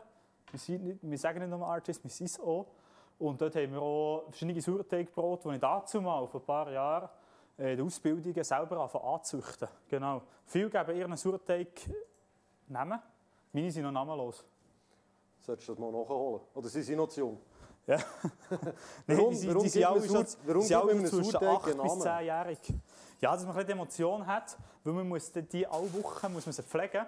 Wenn man in die Ferien geht, muss man einen Surteig Götti haben, der eine Woche auffrischen Und wenn man das nicht macht, ja, dann stirbt er. Dann ist viel Arbeit, ist dann Flöte. Also eben, da haben wir ja eigentlich auch mal angesetzt, dass wir einen Workshop machen können zum Thema Brot, oder? Das wäre etwas unbedingt, weil Brot interessiert die Leute immer wie mehr. Und es ist auch ein Handwerk, das man oftmals vergisst. Es ist schön, dass gestern äh, der Bundesrat das noch erwähnt hat, dass die Lehrabschlussprüfungen, unter anderem eben bei den Bäcker, Konditor und Konfiseuren, praktisch in den Betrieben darf durchgeführt werden Genau, schon nicht selbstverständlich natürlich. So, das ist da das Brot, das ich von den Eltern aus der Bäckerei mitgegeben heute. Äh, das Bias, genau. Römerkaffee habe ich da, ein paar Scheiben geschnitten. Hm, dann noch eins, zwei mehr. So. Gut. Jetzt haben wir hier Alufolie. Jetzt, können wir da, jetzt haben wir da nur so kleine Alufolie habe ich festgestellt. So, wenn wir das ich gehe kurz schnell äh, ins Aussenstudio. Ich gehe schnell kontrollieren, was unser Grill macht. Das ist gut. Jetzt mache ich das so. Jetzt nehme ich die Alufolie. Dann nehme das sieht wunderbar aus. Ein Löffel oder ein Spachtel. Jetzt nehme ich hier ein Löffel, ich kein Spachtel habe. Dann können wir da ein unser Pesto aufstreichen. Grill ist in Ordnung. Ist das gut? Ja. Super. Können du, Katharina hat noch gefragt. Ähm, anscheinend ist das Buch recht viel im Bild hier. Törtchen. Ja. Du, mein Törtchen, erzähl mir etwas. Oh. Äh, Törtchen, das ist das Buch, genau. Seht ihr im Bild, auf das bin ich ganz stolz. Ich habe mit 23 dürfen ja, mit 23 durfte ich ein äh, Buch mitschreiben. Der Matthes Verlag, das ist einer der grössten Fachbuchverlage in äh, Europa. Das ist okay. der grösste Fachbuchverlag in Europa. Die haben mich angefragt, sie suchen fünf äh, hervorragende Patissiers und Konditoren für das Buch. So ein moderne Törtchen zu machen, ist das Fachbuch. Das haben wir dann gemacht. So dachte ich, ja, so ein jeder macht so 15 Kreationen, easy. Nach so zwei Tagen oder so. Genau. Ja, das ist einfach ein lang geworden, habe ich gemerkt. Ich war fast einen Monat daran beschäftigt, gewesen, bis es ein Buch reif war mit dem ganzen Texten und und und. Das habe ich gar nicht gekannt bis anhin. Ich habe mir so gedacht, ja, ja, das geht ja schon. Also, ja, so etwas köcheln, das geht. Dann sind wir das auf Mannheim. Also so wie heute, gell? Genau, ja. so easy going, bis man merkt, ah, da ist noch ein bisschen mehr hinten dran. Eins muss ich dann abschneiden. Das Buch haben wir nachher nach 2018 rausgegeben, im November, einen Tag nachdem ich von der Kochweltmeisterschaft hergekommen bin. Ist das auf den Markt rausgekommen.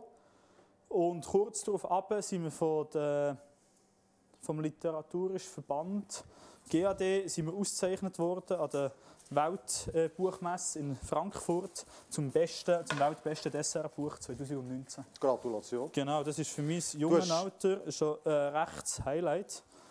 Genau. Du hast etwas erwähnt, äh, Kochweltmeisterschaft. Also, ich weiss, du hast auf vielen Wettbewerben mitgemacht. Ich kann mir das zusammen nicht merken, Norm. Tu das bitte mir einfach schnell rekapitulieren. Ah, nur mit dir? Ah, Dani, lass mir doch mal zu. genau, ich durfte äh, bereits in meinen jungen Jahren ganz viele äh, Wettbewerbe, Kochwettbewerbe dürfen bestreiten. Er durfte viereinhalb Jahre als Teamchef der Schweizer Junioren-Kochnationalmannschaft äh, tätig sein, wo wir international verschiedene Wettbewerbe gekocht haben. Ich war allein aus, bei der Jüngste, die in Top 10 von der besten Patissiers von Europa 2015 äh, geschockelt hat, sage ich auch. Patissiers mit Jockey. Äh, und bin zu, zu den neun besten äh, Köchen gehört, um 30 von Rolling Pin 2016 ausgezeichnet. Also Genau, und dann Endlos. bin ich Vize-Olympiasieger geworden mit der, mit der Mannschaft. Äh, haben wir zweimal Gold geholt Olympia. Und 2016, im 18 ist Vize-Weltmeistertitel. Wisst ihr, was das Beste ist? Ich kann zu ihm essen. Wenn ja, wieder offen. Sobald wir offen haben, alle herzlich willkommen. Äh, echt wichtig ist reservieren, weil unsere Plätze sind beschränkt. So, also, Päckchen haben wir fertig, das haben wir nebenbei gesehen. Und jetzt gehen wir raus zum Green Egg. Wir uns dort aufs Green Egg die, die den Dani kennen, die, die mich kennen, die wissen, bei uns geht eigentlich alles über das Green Egg oder auch viel. So, gehen wir raus. Da haben wir auch gerade eine passende Frage dazu bekommen, aber die gehen wir nachher dann schnell anschauen. Ich muss auch ins Aussenstudio. Das ist wie bei Wetten, das ich das schon lange mal wollen, nachher so ins Aussenstudio schalten. Das finde ich ja. super. Das ist äh, Joko und Klaas einen Scheissdreck dagegen. Äh, Big Green Egg, das ist ja für uns beide ein Thema, für mich seit 2013 eigentlich, als, als Händler. Äh, Egghead, äh, Spinner und wirklich, glaube unendlicher Fan von diesem Kochgerät. Jetzt, glaube richtig gesagt, Kochgerät, oder? Also du, du siehst ja auch die verschiedenen Möglichkeiten, die das Ding bietet. Nützen dir ja extrem viel, oder? Ja, eben, es ist, ich meine, Holzkohlegrill ist ein Holzkohlegrill, aber das Green Egg, das ist einfach wirklich das Green Egg. Äh, man kann, ja, jeder denkt an einen Grill, da kann man Fleisch braten. Aber was macht es für dich, für dich du der Profiküche? Was macht es dort spannend? Ja, erstens, die Frage erstens schon nur die Qualität des Produkts an sich ist schon mal. Da kann keiner dran kommen. Man kann backen, man kann schmoren, man kann äh, grillieren, ganz klassisch. Man kann, äh, wir haben schon Apfelstrudel drin gebacken. gehabt. Wir haben Vanillesauce schon drauf gemacht, das mit den neuen Einsätzen. Man kann sogar Wok reinsetzen, Ja. äh, Brot backen, ja. Pizza, Flammkuchen. Also, wenn man die eierlegende Wollmilchsau müsste in der Küche erfinden äh, dann wäre es leider nicht du, Dani, aber dann wäre es Green Egg. Ja, also auch für mich, es ist, es ist ja in dem Sinn, ich, ich koche allgemein gerne mit Feuer, ich koche auch gerne mit offenem Feuer, aber das ist ganz anderes Arbeiten. genau. Weil da habe ich, ich sage den Leuten auch immer, die zu mir in die Beratung kommen, das ist wie ein zweiter Backofen. Also ich habe die Möglichkeit, alles, was ich daheim im Backofen kann machen kann, Ja. kann ich da drin auch machen. Genau, das ist ich kann genau es so. aber auch als Grill brauchen, ich kann es als Pizzaofen brauchen. Ähm, extrem spannend. Was ich aber auch spannend drum, drum finde, ist eigentlich die Community, die sich gebildet hat. Das ist ja, haben wir es vorhin kurz thematisiert. Kommen Hast du? Nein, nein, Ja, aber dass wir, weit, dass wir, können, los, dass wir können weiterkochen Also nebenbei. gut, los. Äh, ich habe es vorhin thematisiert, die, die Geschichte mit, mit der Flavor Fair haben wir ja angeschnitten. Flavor Fair ist, ist natürlich ein Anlass, der seinesgleichen sucht, um ein Produkt herum, hätte ich gesagt. Das Du ist so. kochst ja dort am auch, also vielleicht den Leuten schnell zu erklären, die, die es nicht können, das ist ein Food Festival, ihr müsst euch vorstellen, ein Street Food Festival, nur um Big Green Egg. Genau. Und verschiedene Gastronomen, Gastrobetriebe kochen dort auf ihrem Big Green Egg, das sie auch in der Küche nutzen. Ich finde das einen wunderbaren Anlass. Ich bin schon dreimal auf Holland an die, an die europäische Flavor Fair gegangen. Dort gehen teilweise bis zu 3000 Leute hin. Äh, einmal haben wir sogar unseren, unseren Anhänger dort aufgekarrt mit drei Big Green Egg drauf, um selber mitzukochen. Das war eine relativ äh, äh, lustige Übung. Aber du hast ja dort auch, du hast ja auch herreissen, die hat das auch gepackt, oder? Und du findest auch die Community cool. Also es ist irgendwie, ich kenne kein Gerät in der Küche, das so viele Leute versammelt.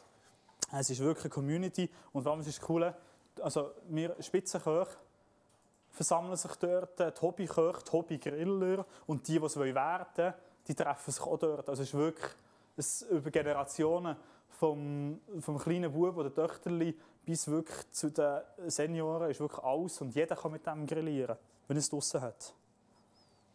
Gut, dann glaube ich, haben wir auch die Frage äh, beantwortet, eben, wieso dass genau das Big Green Egg und nicht andere Grills in den, in den Profiküchen zum, zum Einsatz kommen. Also, wenn man vom Grillen allein redet, hast ja du auch noch andere Produkte im Einsatz. Oder? Du arbeitest schon auch mit offenem Feuer. Genau, ich arbeite viel mit dem Feuerring Ja. zusammen. Also der steht draußen, der steht nicht im Restaurant, sondern draußen, der die Gäste bei uns das Apero nehmen. Das werdet ihr sicher sehen, wenn ihr mal bei uns vorbeikommen. Dürfen noch dort ringsherum gehen. Im Sommer machen wir so ein Feuer auf Flammen, so ein neues Restaurantkonzept, wo wir auf offenem Feuer kochen für Gäste, ein bisschen draußen und nicht am Chefstable möchten hocken. Und äh, dann äh, tun wir auch noch viel auf den japanischen Grills. In der Schweiz heißen die Margoni-Grill. So ein Das ist ein Thema, das ich bei mir jetzt anschaue, wenn wir wieder Genau. auftun Äh, die brauche ich noch recht viel. Ist noch cool. Sie so, ich sage jetzt nicht, wie sehen muss erklären, wie sieht die aus wie eine Badwanne aus Schamottsteinen mit einem äh, dünnen Gitterrost oben drauf, wo wir das so können, drauf können grillieren und machen. Genau, ganz klassisch aus der japanischen Küche, ein Schweizer Produkt. So, das Tartar kommt. Genau, wunderbar. Die Dinge sind draussen. Äh, Brötchen. Jetzt müssen wir dann noch, das noch ein bisschen Das heisst, du tust jetzt Tartar noch mal abschmecken. Ja, das müssen wir noch einmal abschmecken. Vorher habe ich nicht probiert, sondern ich habe gefühlt. Da. Das mal probieren. Das Fleisch zieht immer nachher. Mhm. Muss ich sicher noch viel Pfeffer dazugeben. Haben wir sicher zu wenig. Ganz wenig Salz, muss noch leiden. Wir mischen. Eben das mit dem Würzen, das ist ja, eben, viel- ich wollte es vorhin anschneiden. Also viele Leute haben ja Mühe mit dem, einfach mal zu würzen. Ja, für Gibt's Leute Tipps? Respekt. Ja. Ich würde immer als oberste Limit gehen. Die Leute, die mich kennen und wissen, wenn ich koche, die wissen, oder wie wir kochen bei uns besser gesagt, ich bin nicht allein, der kocht, sondern wir sind das ganze Team. Wir gehen immer geschmacklich und mit den Gewürzen wirklich bis ans Limit. Okay. Und dort ist eigentlich das meiste Erlebnis, das man so geniessen kann. So, das lassen wir geschwind. So, noch einmal. Jetzt wollen wir draussen Spargel grillieren. Ist das gut, Dani? Tun wir das Green und gehen Spargel grillieren? Nein, wir müssen noch schnell etwas anderes anschauen. Was wollen wir da noch? Äh, wir haben den Grill noch besetzt. Haben wir die Grün abgesetzt? Also ich kann dir auch einen zweiten anführen. Ah, weil es noch auf indirekt ist, natürlich. Genau. Genau. Die Thematik, direkt, indirekt, wollen wir das den Leuten erzählen oder zeigen wir es zeigen wir es am Wir besten es. schnell, wenn wir es wechseln, oder? Genau. Gehen wir geschwind raus zu den Green Eggs. Ja, können wir gehen machen. draussen kochen. Und dann können wir das noch geschwind den Gästen zeigen. Ist gut? Jetzt gehen wir die Spargel grillieren.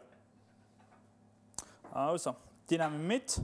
Wir würzen sie nachher würzen und nicht jetzt äh, schon vorgängig. Wie ich gesagt habe, man kann die ganz verschieden marinieren und man kann machen. Äh, ganz unterschiedlich. Haben wir noch eine Frage, die wir mit rausnehmen können? Ähm, Moment, ich komme glaube ich etwas von der Regie über. Sie werden uns dann auch, noch etwas sagen. Wollt ihr uns auch noch etwas sagen? Sie haben Hunger. Haben Sie Hunger? Sie Aha. Hunger. Nicht nur Sie, ich auch im Fall. Gut, gehen wir die raus noch ein bisschen grillieren. Moment schnell. Nimmst du noch eine Grillzange mit raus? Ich bringe das dann nachher gerade. Kurzen Moment schnell.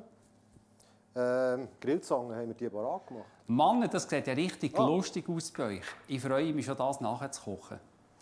Aber Norman und Daniel, es hat ja nicht jeder Kunde so einen riesen Platz für eine so eine grosse Insel daheim. Und in diesem, in diesem Zusammenhang fällt mir gerade eine Geschichte ein. Daniel, die möchte ich dir unbedingt erzählen. Ich hatte eine Kundin, die ist zu uns in die Ausstellung gekommen, hat sich so ein bisschen Ausstellung angeschaut und sagt nachher zu mir, sie hätte eigentlich schon gerne irgendwie so eine schöne Küche. Aber ihr hat mir gesagt, das geht leider nicht. Ich habe damit ein bisschen geredet und ja, warum geht es denn nicht? Ja, es geht einfach nicht. Ihr Kollege hat schon gesagt, es geht nicht. Und der Architekt hat auch gesagt, es geht nicht. Ihr Raum sei klein. Und er hat gesagt, mal unabhängig von dem, was man ihnen schon gesagt hat, tut mir doch mal erzählen, was wäre eure Traumküche? Was ist euer Wunsch? Was möchtet ihr gerne realisieren in eurer wunderschönen äh, Küche, in eurem schönen Heim? Dann hat sie mir so ein erzählt und ich habe das aufgenommen und das aufgeschrieben. Und wir haben mit unserer langjährigen Planungserfahrung haben wir eine geniale, geniale Planung können machen Und die Frau ist überglücklich und ist happy. Und wenn ich dir jetzt sage, Daniel, die hat heute, die Kundin, eine genial schöne Insel, ihre neue Küche und ist absolut happy und kocht jeden Tag und ist glücklich. Und das möchte ich schon sagen, Mann, dort im Studio. Es muss nicht immer so eine riesige Kochinsel sein. Es geht auch kleiner. Ja, Theo, das äh, denke ich und ich weiß, dass du das kannst. Ich weiß, dass du Profi bist, in allem umzusetzen, egal. Wenn ich gekommen wäre und gesagt hätte, ich brauche einen Meter auf eine Meter Kochinsel mit allen Funktionen, ich bin überzeugt, du hättest das geschafft. Aber ich bin ja nicht gekommen und habe gesagt, ich will so eine Mini-Insel, sondern ich habe gesagt, ich will den Rolls-Royce, weil wir hier innen richtig arbeiten können. Ich würde eigentlich noch schnell zwei, drei Worte zu dem Monster, das hier steht, verlieren. Weil, wenn man das anschaut, die, schon allein nur die schiere Länge dieser Kochinsel, das sind 5 Meter mal 2 Meter breit, ähm, sind wirklich nur die besten Geräte drinnen verbaut. Äh, die Zusammenarbeit mit dem Theo ist eigentlich so zustande gekommen, also mit Designküchen in Niederbipp, dass ich äh, einen Küchenbauer gesucht habe und ich eine Küche wollte. Und der Küchenbauer sucht immer einen Showroom, der viel Frequenz ist. Und so haben wir uns gefunden. Nichtsdestotrotz, ja natürlich der Theo von der HESO kennt. Ich glaube, alle, die zuschauen, oder auch die meisten, kennen sie HESO-Stang.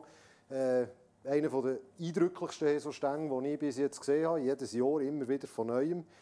Äh, aus diesem ganzen Konstrukt heraus hat der Theo zu zeichnen. Und ja, ihr seht es. Also, wenn man hier ringsum läuft, allein schon nur die beiden monströsen Backöfen vorne. Äh, ich habe gerne äh, grössere Stücke Fleisch, das wissen die Leute, die mit mir schon zu tun haben. Das passt hier doppelt rein, also ich muss es in der Mitte halbieren und dann kann ich zwei Teile machen. Ähm, wir haben hier hinten mein wunderbares Espresso-Equipment integriert bekommen. Also grandiose Arbeit von Designküchen, muss ich sagen. Leider haben wir hier innen keinen Grill können einbauen, sonst müsste ich den Laden noch eine Woche putzen. Darum gehen wir jetzt raus grillieren. Super, Bist du dabei? komm mit. Super. Oder ich gehe voraus. Ich kann wieder ins Aussenstudio.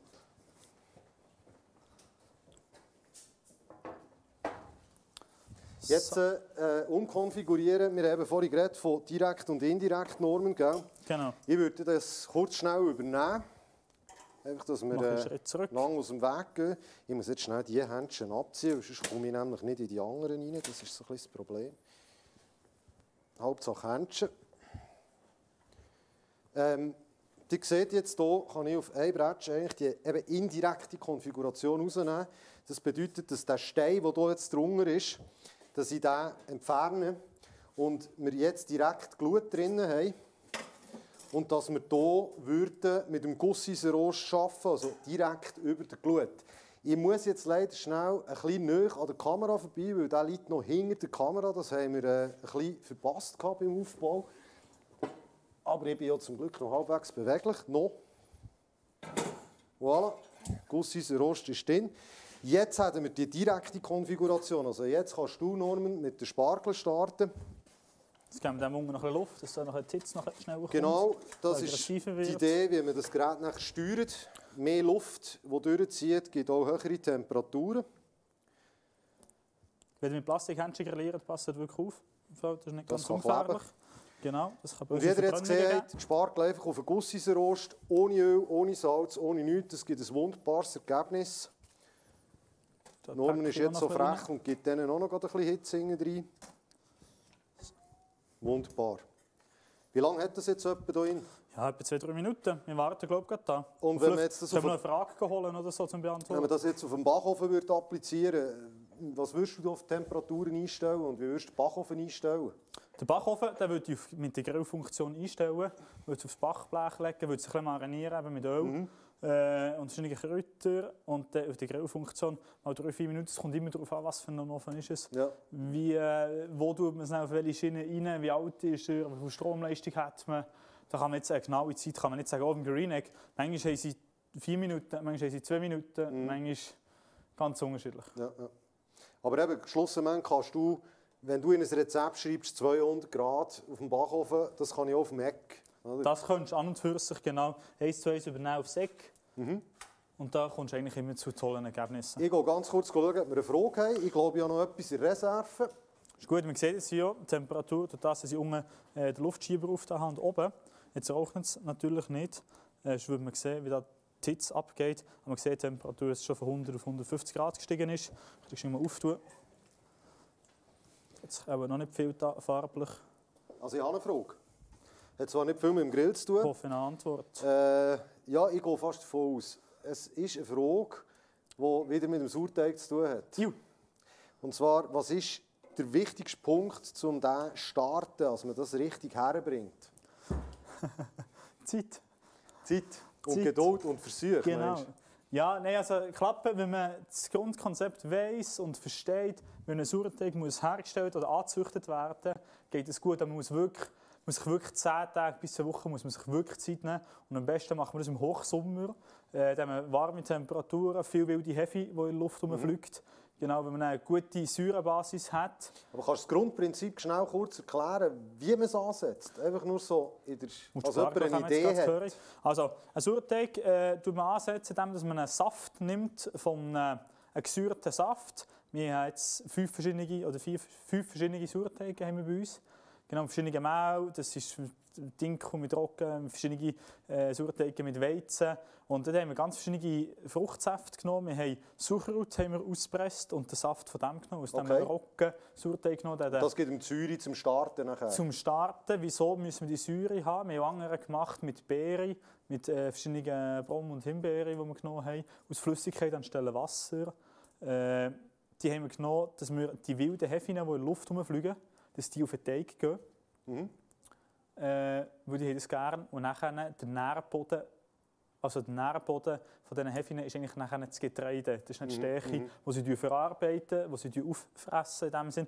Das kann sich eine Hefe bilden. Ja. Und die, musst dir vorstellen, unter einem Mikroskop oder Science-Fiction-mässig, Comic-mässig wären das alles so kleine, äh, so kleine Emojis, die da am Fressen sind. Und dann muss man wieder neue Nahrung geben. Und, die Ja. müssen, und am Anfang geht es ganz lang. Und dann geht es von Tag zu Tag geht es ging schneller, wo dann der, Hef, der Teig wirklich aufbleibt. Wo die Hefe fängt an zu arbeiten. Die fängt nachher an ihre Gase produzieren und schafft nachher eben wie eine Hefe. So kann man einen Sauerteig anzüchten. Und dann kann man den im Kühlschrank lagern, in einem geschlossenen Gefäß. Aber darf nicht vergessen, dass der alle Wochen wieder Nahrung braucht. Eben, Und darum kann er auch sie. sterben, genau. Deswegen kann er auch sterben, also sterben in dem Sinne Ja, einfach ja. hungern. Ja, ja. Also qualvollen Tod, sage ich jetzt mal.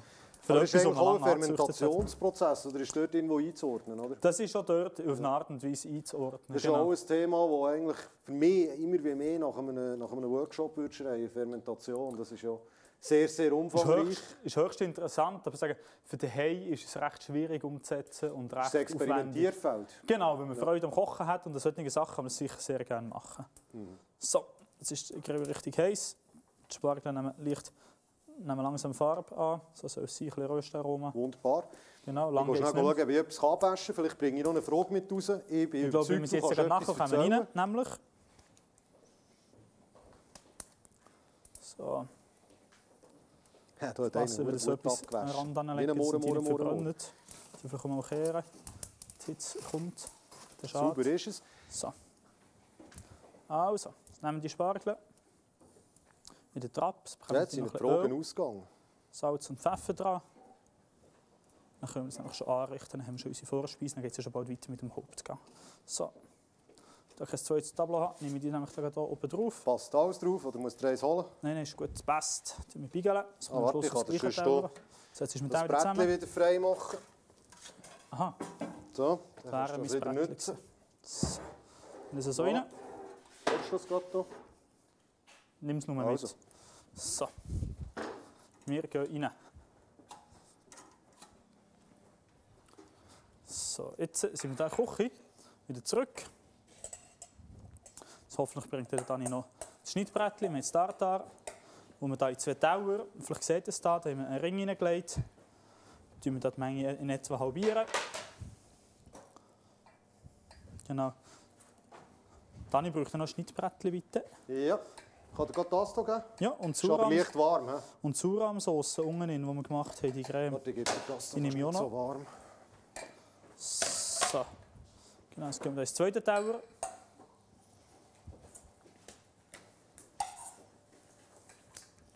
Das anrichten. Ah, das hättest du mir auch noch dürfen sagen. Also Servierringe haben wir auch, aber die sind jetzt nicht in dieser Kategorie beim Shop, ihr unten könnt draufklicken könnt.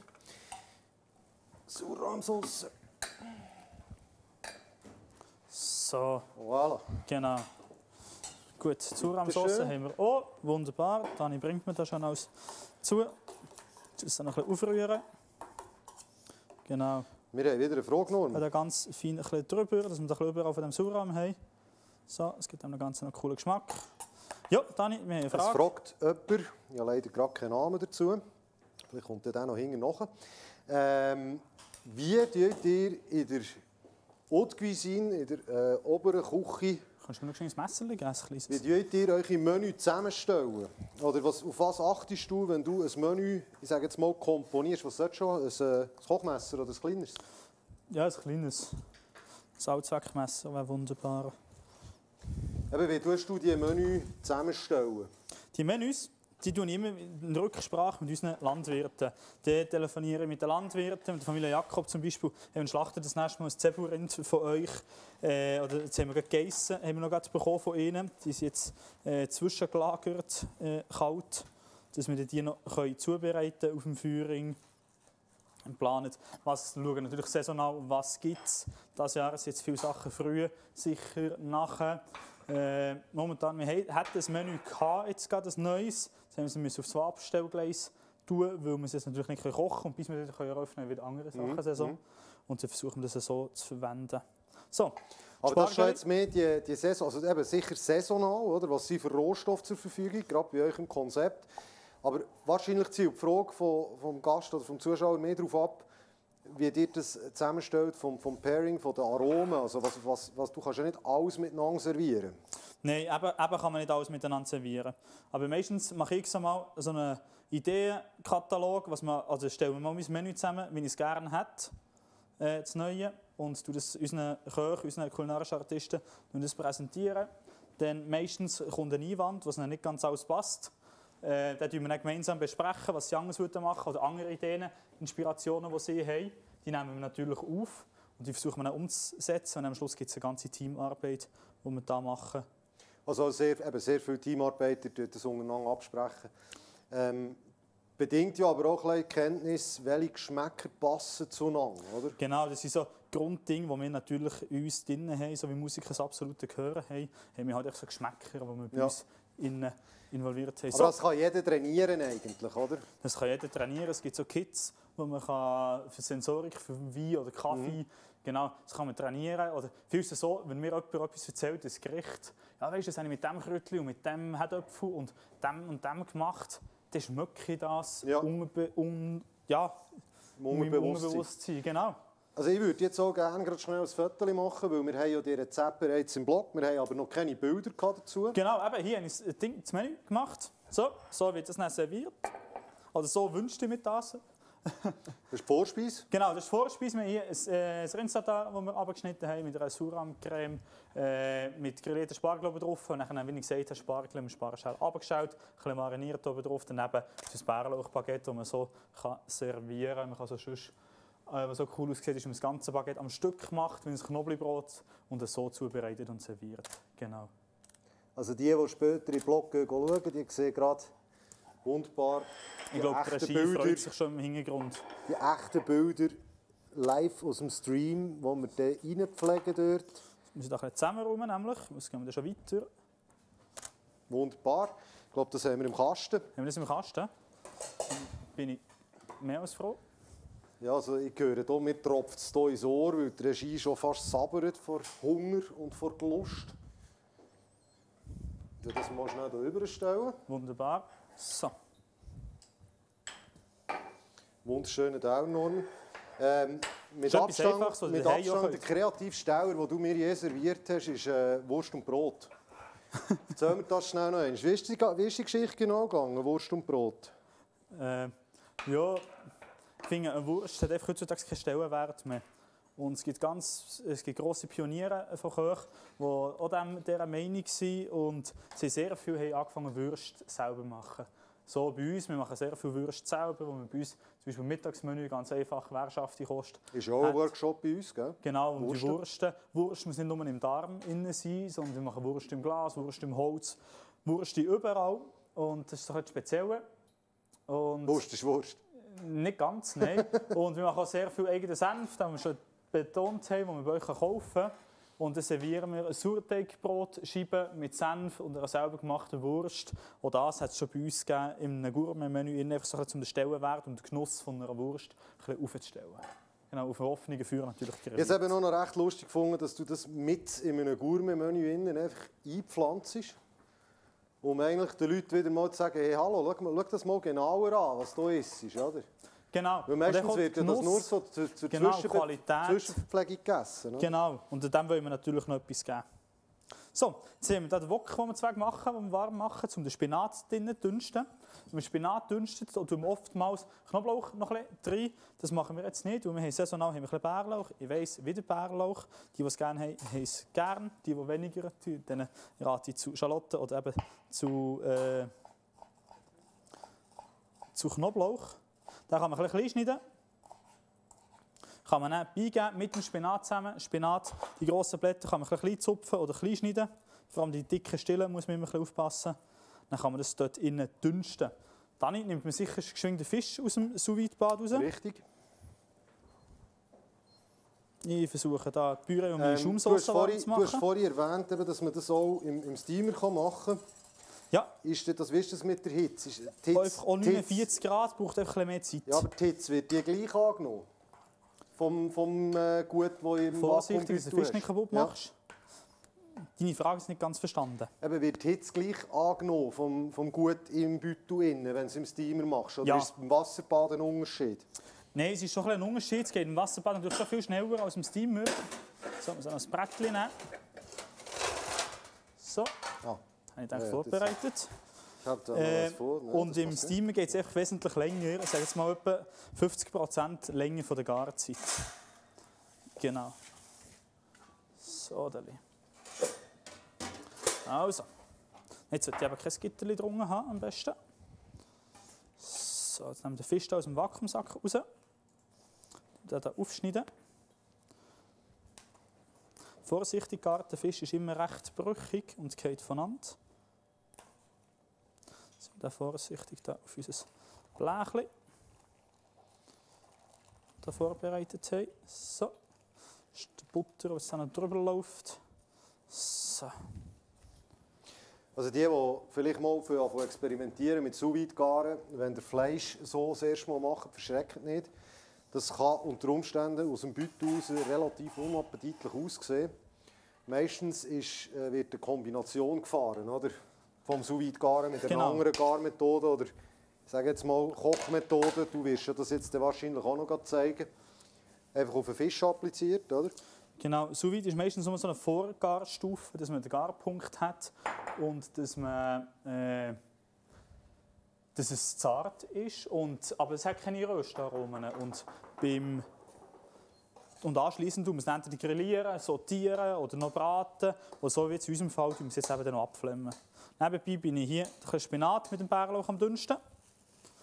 Genau. Also wir haben hier einen Gast oder einen Zuschauer, der anscheinend mitgekocht hat. Und Das er ist gibt cool. gerade das Feedback. Ähm, bei der Vorspeise Aber unglaublich. er hat schon eine hohe Maschine. Gleich schnell Der wie ist mir. parat, gell? Genau, der ist parat. Und vor allem jetzt ist er am Essen und am Kochen. Also der ja, ist er, im hat, er, Stress im hat, er, Vergleich hat, zu er dir. hat nur, anscheinend hat er nur die Vorspeise gemacht. Ja, Ähm, sagt tolles Rezept, Zuramsauce verbindet Geschmäcker von der Spargel und dem Tartar, mit dem Bärlauch perfekt.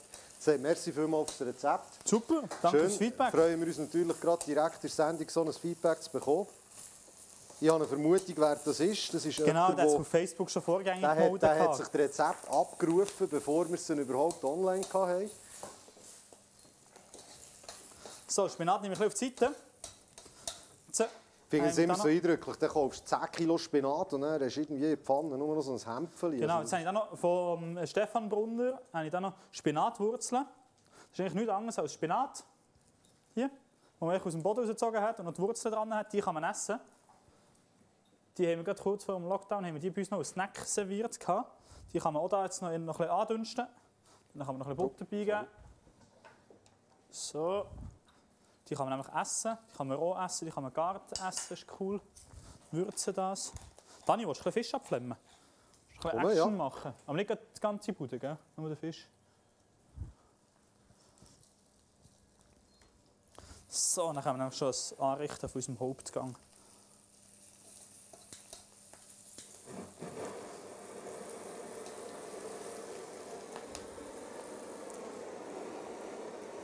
cool.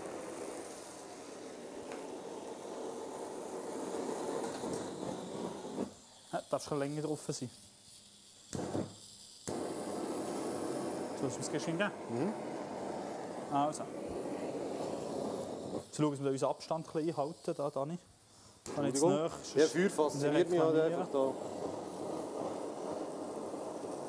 Das ist eben jetzt der Grund, wieso du das machst. Ist ja eigentlich, wir hatten vorhin keine Röstaromen am Fisch. Genau.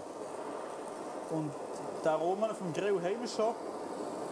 Und von nussiger Butter haben wir auch schon. Jetzt haben wir jetzt wir abflemmen. So, jetzt kann man das auch schon gemütlich.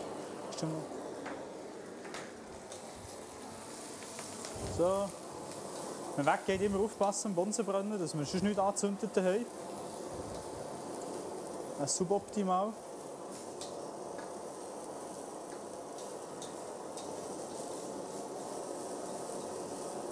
Ich glaube, Spinat ist gut, kannst du Ja. abstellen. So. Gib mir noch ein bisschen.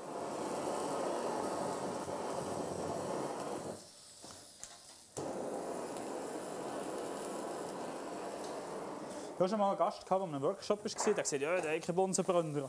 Ich sagte, ja, das muss man nicht unbedingt, man kann es so essen oder anbraten. Hat er gesagt, ja, ja. Und dann irgendwann ist er wieder an einen Workshop gekommen. Da hat er eben unseren Brenner gehabt.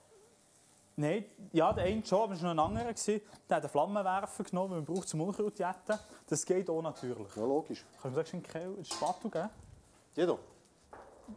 Ja, ist ja gleich, weil ich die passt. Danke. So, dann Fisch nehmen wir aufs Schnittbrett.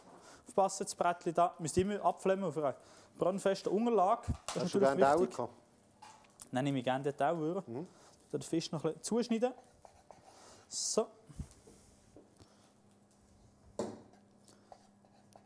Das ist schon an und für sich sieht immer spektakulär aus, wenn wir etwas kochen.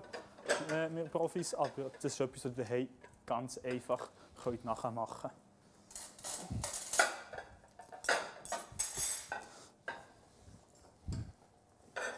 So, das Topinambur-Püree, haben wir fertig.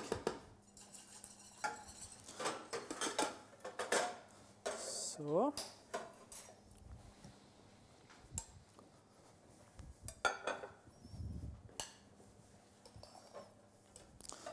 Dann setzen wir jetzt drauf.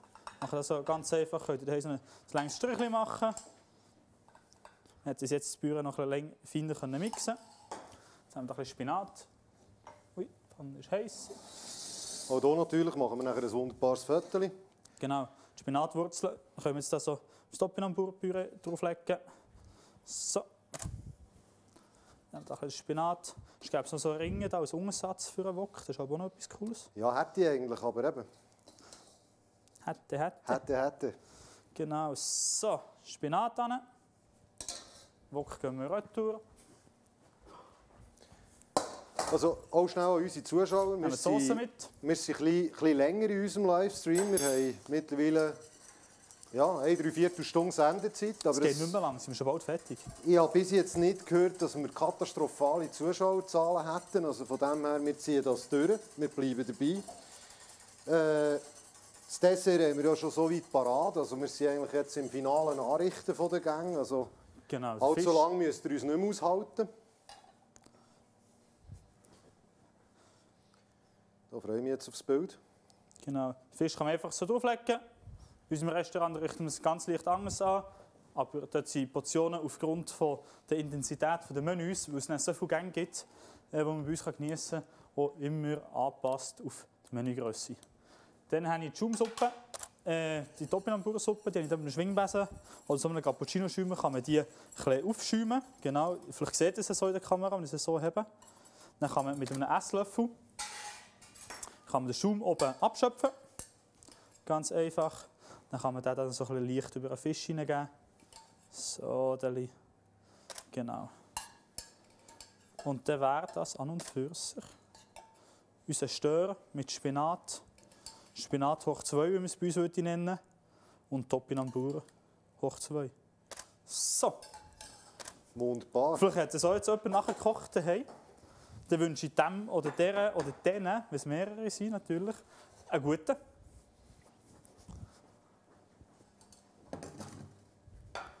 Also muss ich mal etwas trinken. Jetzt habe ich so viel, so viel Geräte gehabt, Dani, ich glaube du auch. Ich muss vor allem mein Glas noch füllen. Ja, noch gerade.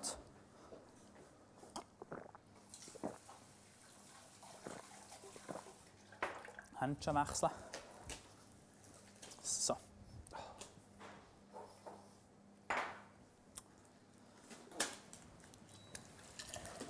Oh, Theo. Theo ist wieder mal da. Jetzt erzählt er uns echt.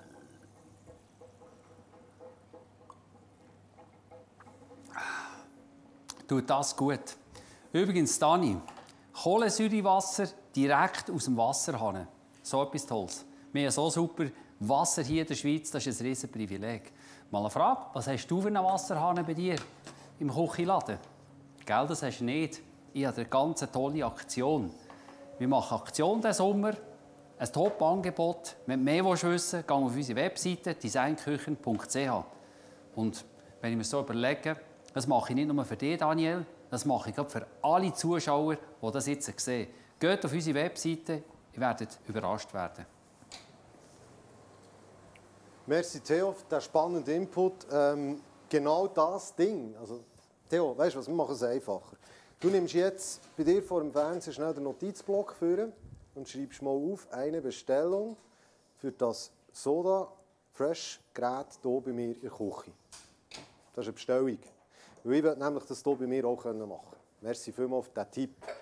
Ähm, die, die das übrigens interessiert, Theo hat es gesagt, das kann jeder bei sich daheim auch einbauen. Äh, das ist der letzte Link bei uns, den ihr äh, unter dem Video oder über dem Video findet. Da könnt ihr dort auch schauen, was die Aktion beinhaltet. Theo bringt hier immer wieder super Inputs. Was meinst du, Norm? Es ist innovativ. Wichtig sind immer neue Ideen und eben so etwas in der Wasserhahn, mal in Genuss kommen. Äh, neu, wo ich war, bei kochen. Die haben so, so eine Wasserhanne. Und das ist wirklich noch praktisch, kann man es einfach rauslassen. Das haben wir übrigens auch bei uns im Restaurant, äh, so ein Produkt. Da müssen wir nicht immer Kisten schleppen. Ja, ja. Genau. Das kommt ja eigentlich aus dem Hahn. Leider hey, habe ich es nicht. Heute bin ich gerade Mineralwasser kaufen und dann weiss ich, was das heisst. Jetzt ist es eine angenehme Temperatur, im Sommer wird es einfach Genau, anstrengend. genau. So, wir kommen schon zum Dessert, zum letzten. Das neues Schnittbrettchen. Wir haben noch eine Frage zum Hauptgang, schnell, bevor ins Dessert reinkommt. Ähm, also eigentlich, weißt, eigentlich sind ja die Zuschauer selbst schuld, dass wir es so lange machen. Weil es ist ja so super viele Fragen. Das ist eben das, was wir beim Briefing nicht beachtet haben, dass Gäste eben noch Fragen stellen, die noch Zeit Ja, aber ich finde es cool, können cool. so viele Fragen. Freut mich. Ähm, wieso hast du bei diesem Menü Stör gewählt? Beziehungsweise welche anderen Fische wären auch noch in Frage gekommen? Äh, ganz viele verschiedene Egli bin ich momentan recht stark dran, weil ich sonst noch einen anderen Zusammenhang mit Egli zu tun habe. Äh, also Flussbarsch. Äh, man kann das mit Sander, ist natürlich auch ein sehr feiner Fisch. Das ist das, was sicher die meisten Leute gerne haben und was so in schöner Größe gibt. Ähm, ich sage jetzt, zu diesem Gang passt das einfach von den Aromen her, vom feinen Topinambur, vom Spinat, wo auf Art und Weise etwas recht äh, Mineralisches ist, aber gleich ein feines Gemüse ist, passt auch der herbe und feste, also intensive äh, Stör wunderbar dazu. Aber die, die stören, jetzt natürlich nicht einfach so, kann, findet man nicht in jedem äh, Einkaufsladen oder Händler, Ja, da muss man sofort, Vorstellung haben. ja. Genau, äh, dann empfehle ich sicher vorzubestellen oder eben äh, kann man auch ganz gut einen anderen Fisch nehmen. Genau. Merci für deine Antwort. Und bei den Fisch ist immer wichtig, dass man schaut, was für eine Zucht oder was für Fänge das die kommen. Mhm. Genau, bei uns gibt es nur Schweizer Fisch. Für die Leute, die noch internationale Fisch nehmen, dort unbedingt wirklich schauen auf, sie, Ja. auf die Labels und die Sachen. Dann will ich dich nicht weiter von deinem Dessertglück abhalten, außer es kommen noch weitere Fragen zum Hauptgang. Dann behandeln wir die natürlich sehr gerne auch. Behandeln. Also, zum Dessert.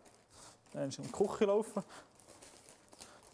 Bei dir laufen immer so viel. Bei uns sind alle Arbeitsabläufe so optimiert, dass du so wenig wie möglich musst bewegen Da ist der Theo die schuld. Aha, Nein, gut, ich habe so eine grosse. Küche. Wollen. Genau, wir nehmen jetzt die karamellisierte Schoki. Brauchen es auch nicht ganz aus. Wir haben mal geplant, dass wir ein bisschen mehr Dauer machen. Aber jetzt haben wir, dürfen wir keine Gäste Das haben. sieht extrem spannend aus. Es sieht ein bisschen aus wie, ähm, wie Pilz. Ja, mit viel Fantasie. Ja, Genau, die Schoki-Würfel sind natürlich verlaufen. Jetzt müssen wir die ein bisschen klein hacken. Ich weiß nicht, seht ihr das überhaupt da an, von der Kamera her? Ich hoffe es. Und sonst ein bisschen grob zusammenhacken, sage ich jetzt mal. Das wisst ihr in etwa wie es wird aussehen. Ich sehe es auf dem Teller. So. Jetzt kannst du mir das Granola noch bringen, Dani, bitte? ja. Dann mal den Störenfried noch abstellen. Hier. Genau. So. Jetzt tun wir eine Schelle machen. Die karamellisierte Gouvertüre, die kann man auch vorbereiten und kann man auch verschiedene Desserts brauchen und schon ein bisschen haltbar. Dann nehmen wir das Granola. Genau. Da jetzt vielleicht zu empfehlen, wenn man grosse Nüsse drin hat, wie Baumnüsse oder Macadamianüsse, äh, dass man die vielleicht vorne ein bisschen teilen. Genau, ein bisschen zerbrechen oder zerhacken. Und jetzt muss man es eben raussuchen. Das ist sicher ein Fehler von unserer Seite her, wo wir da gerade zu übermütig ins Kochen hineingegangen sind. So, jetzt habe ich gehackt. Tun wir da rein. So, dann geben wir jetzt auch noch ein vom anderen hinzu. Wieder. Das Granola ist ebenfalls etwas, was man herstellen kann. Das ist etwa 2-3 Monate haltbar. So eine Müsli-Mischung kann man selber zusammenstellen. Natürlich mit den Nüssen, mit den Flöckchen, mit den Sämli und alles. Passt aber auch ins Dessert wunderbar.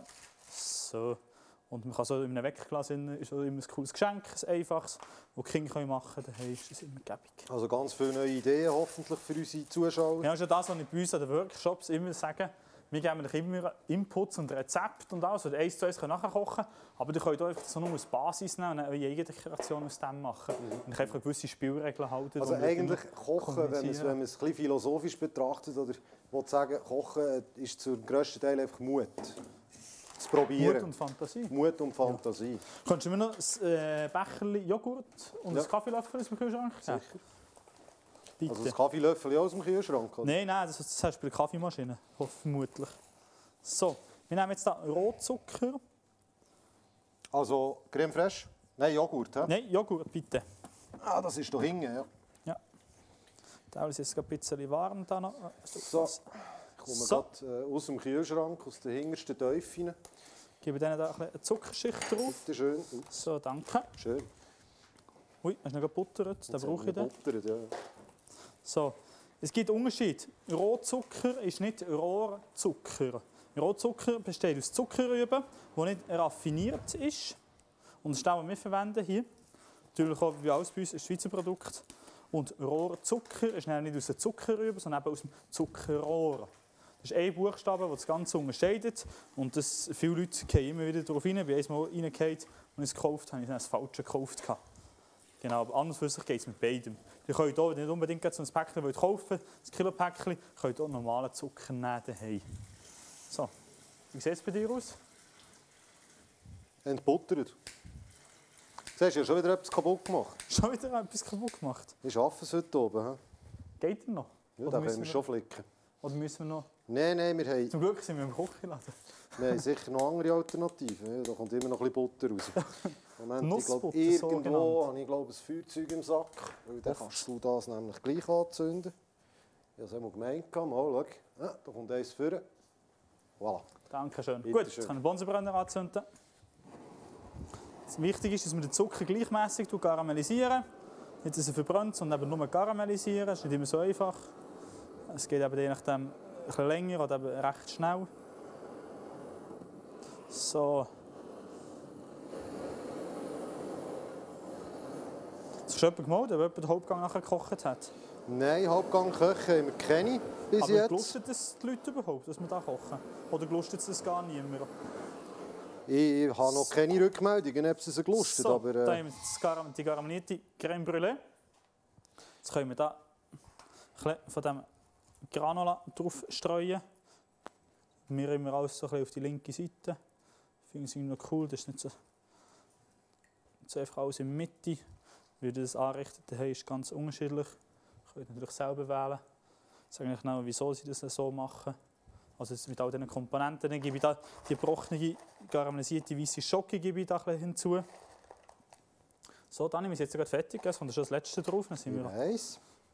so, noch nicht, dass der Moment verpasst ist. So, und dann habe ich hier noch ein bisschen Naturjoghurt, das ich sehr gerne esse. Das ein bisschen aufrühren, dass es nicht zu dick flüssig ist. Dann es ein bisschen flüssiger. Nehme ich da ganz wenig. Dann gehe ich dann ganz leicht drüber. So. Irgendwann nehmen wir, glaube ich, noch unsere Aprikosenkonfi. So, Voilà. die haben wir hier. Das, das, das Löffel. Jetzt geben wir noch ganz wenig Aprikosenkonfi drauf. Für die, die sagen, ja, das Hennen viel und Hennen viel Aufwand, für die verschiedenen, für die Jockey, für da Joghurtkonfi und hier, die können einfach nur mit Creme Brûlée daheim machen. Das kann man auch.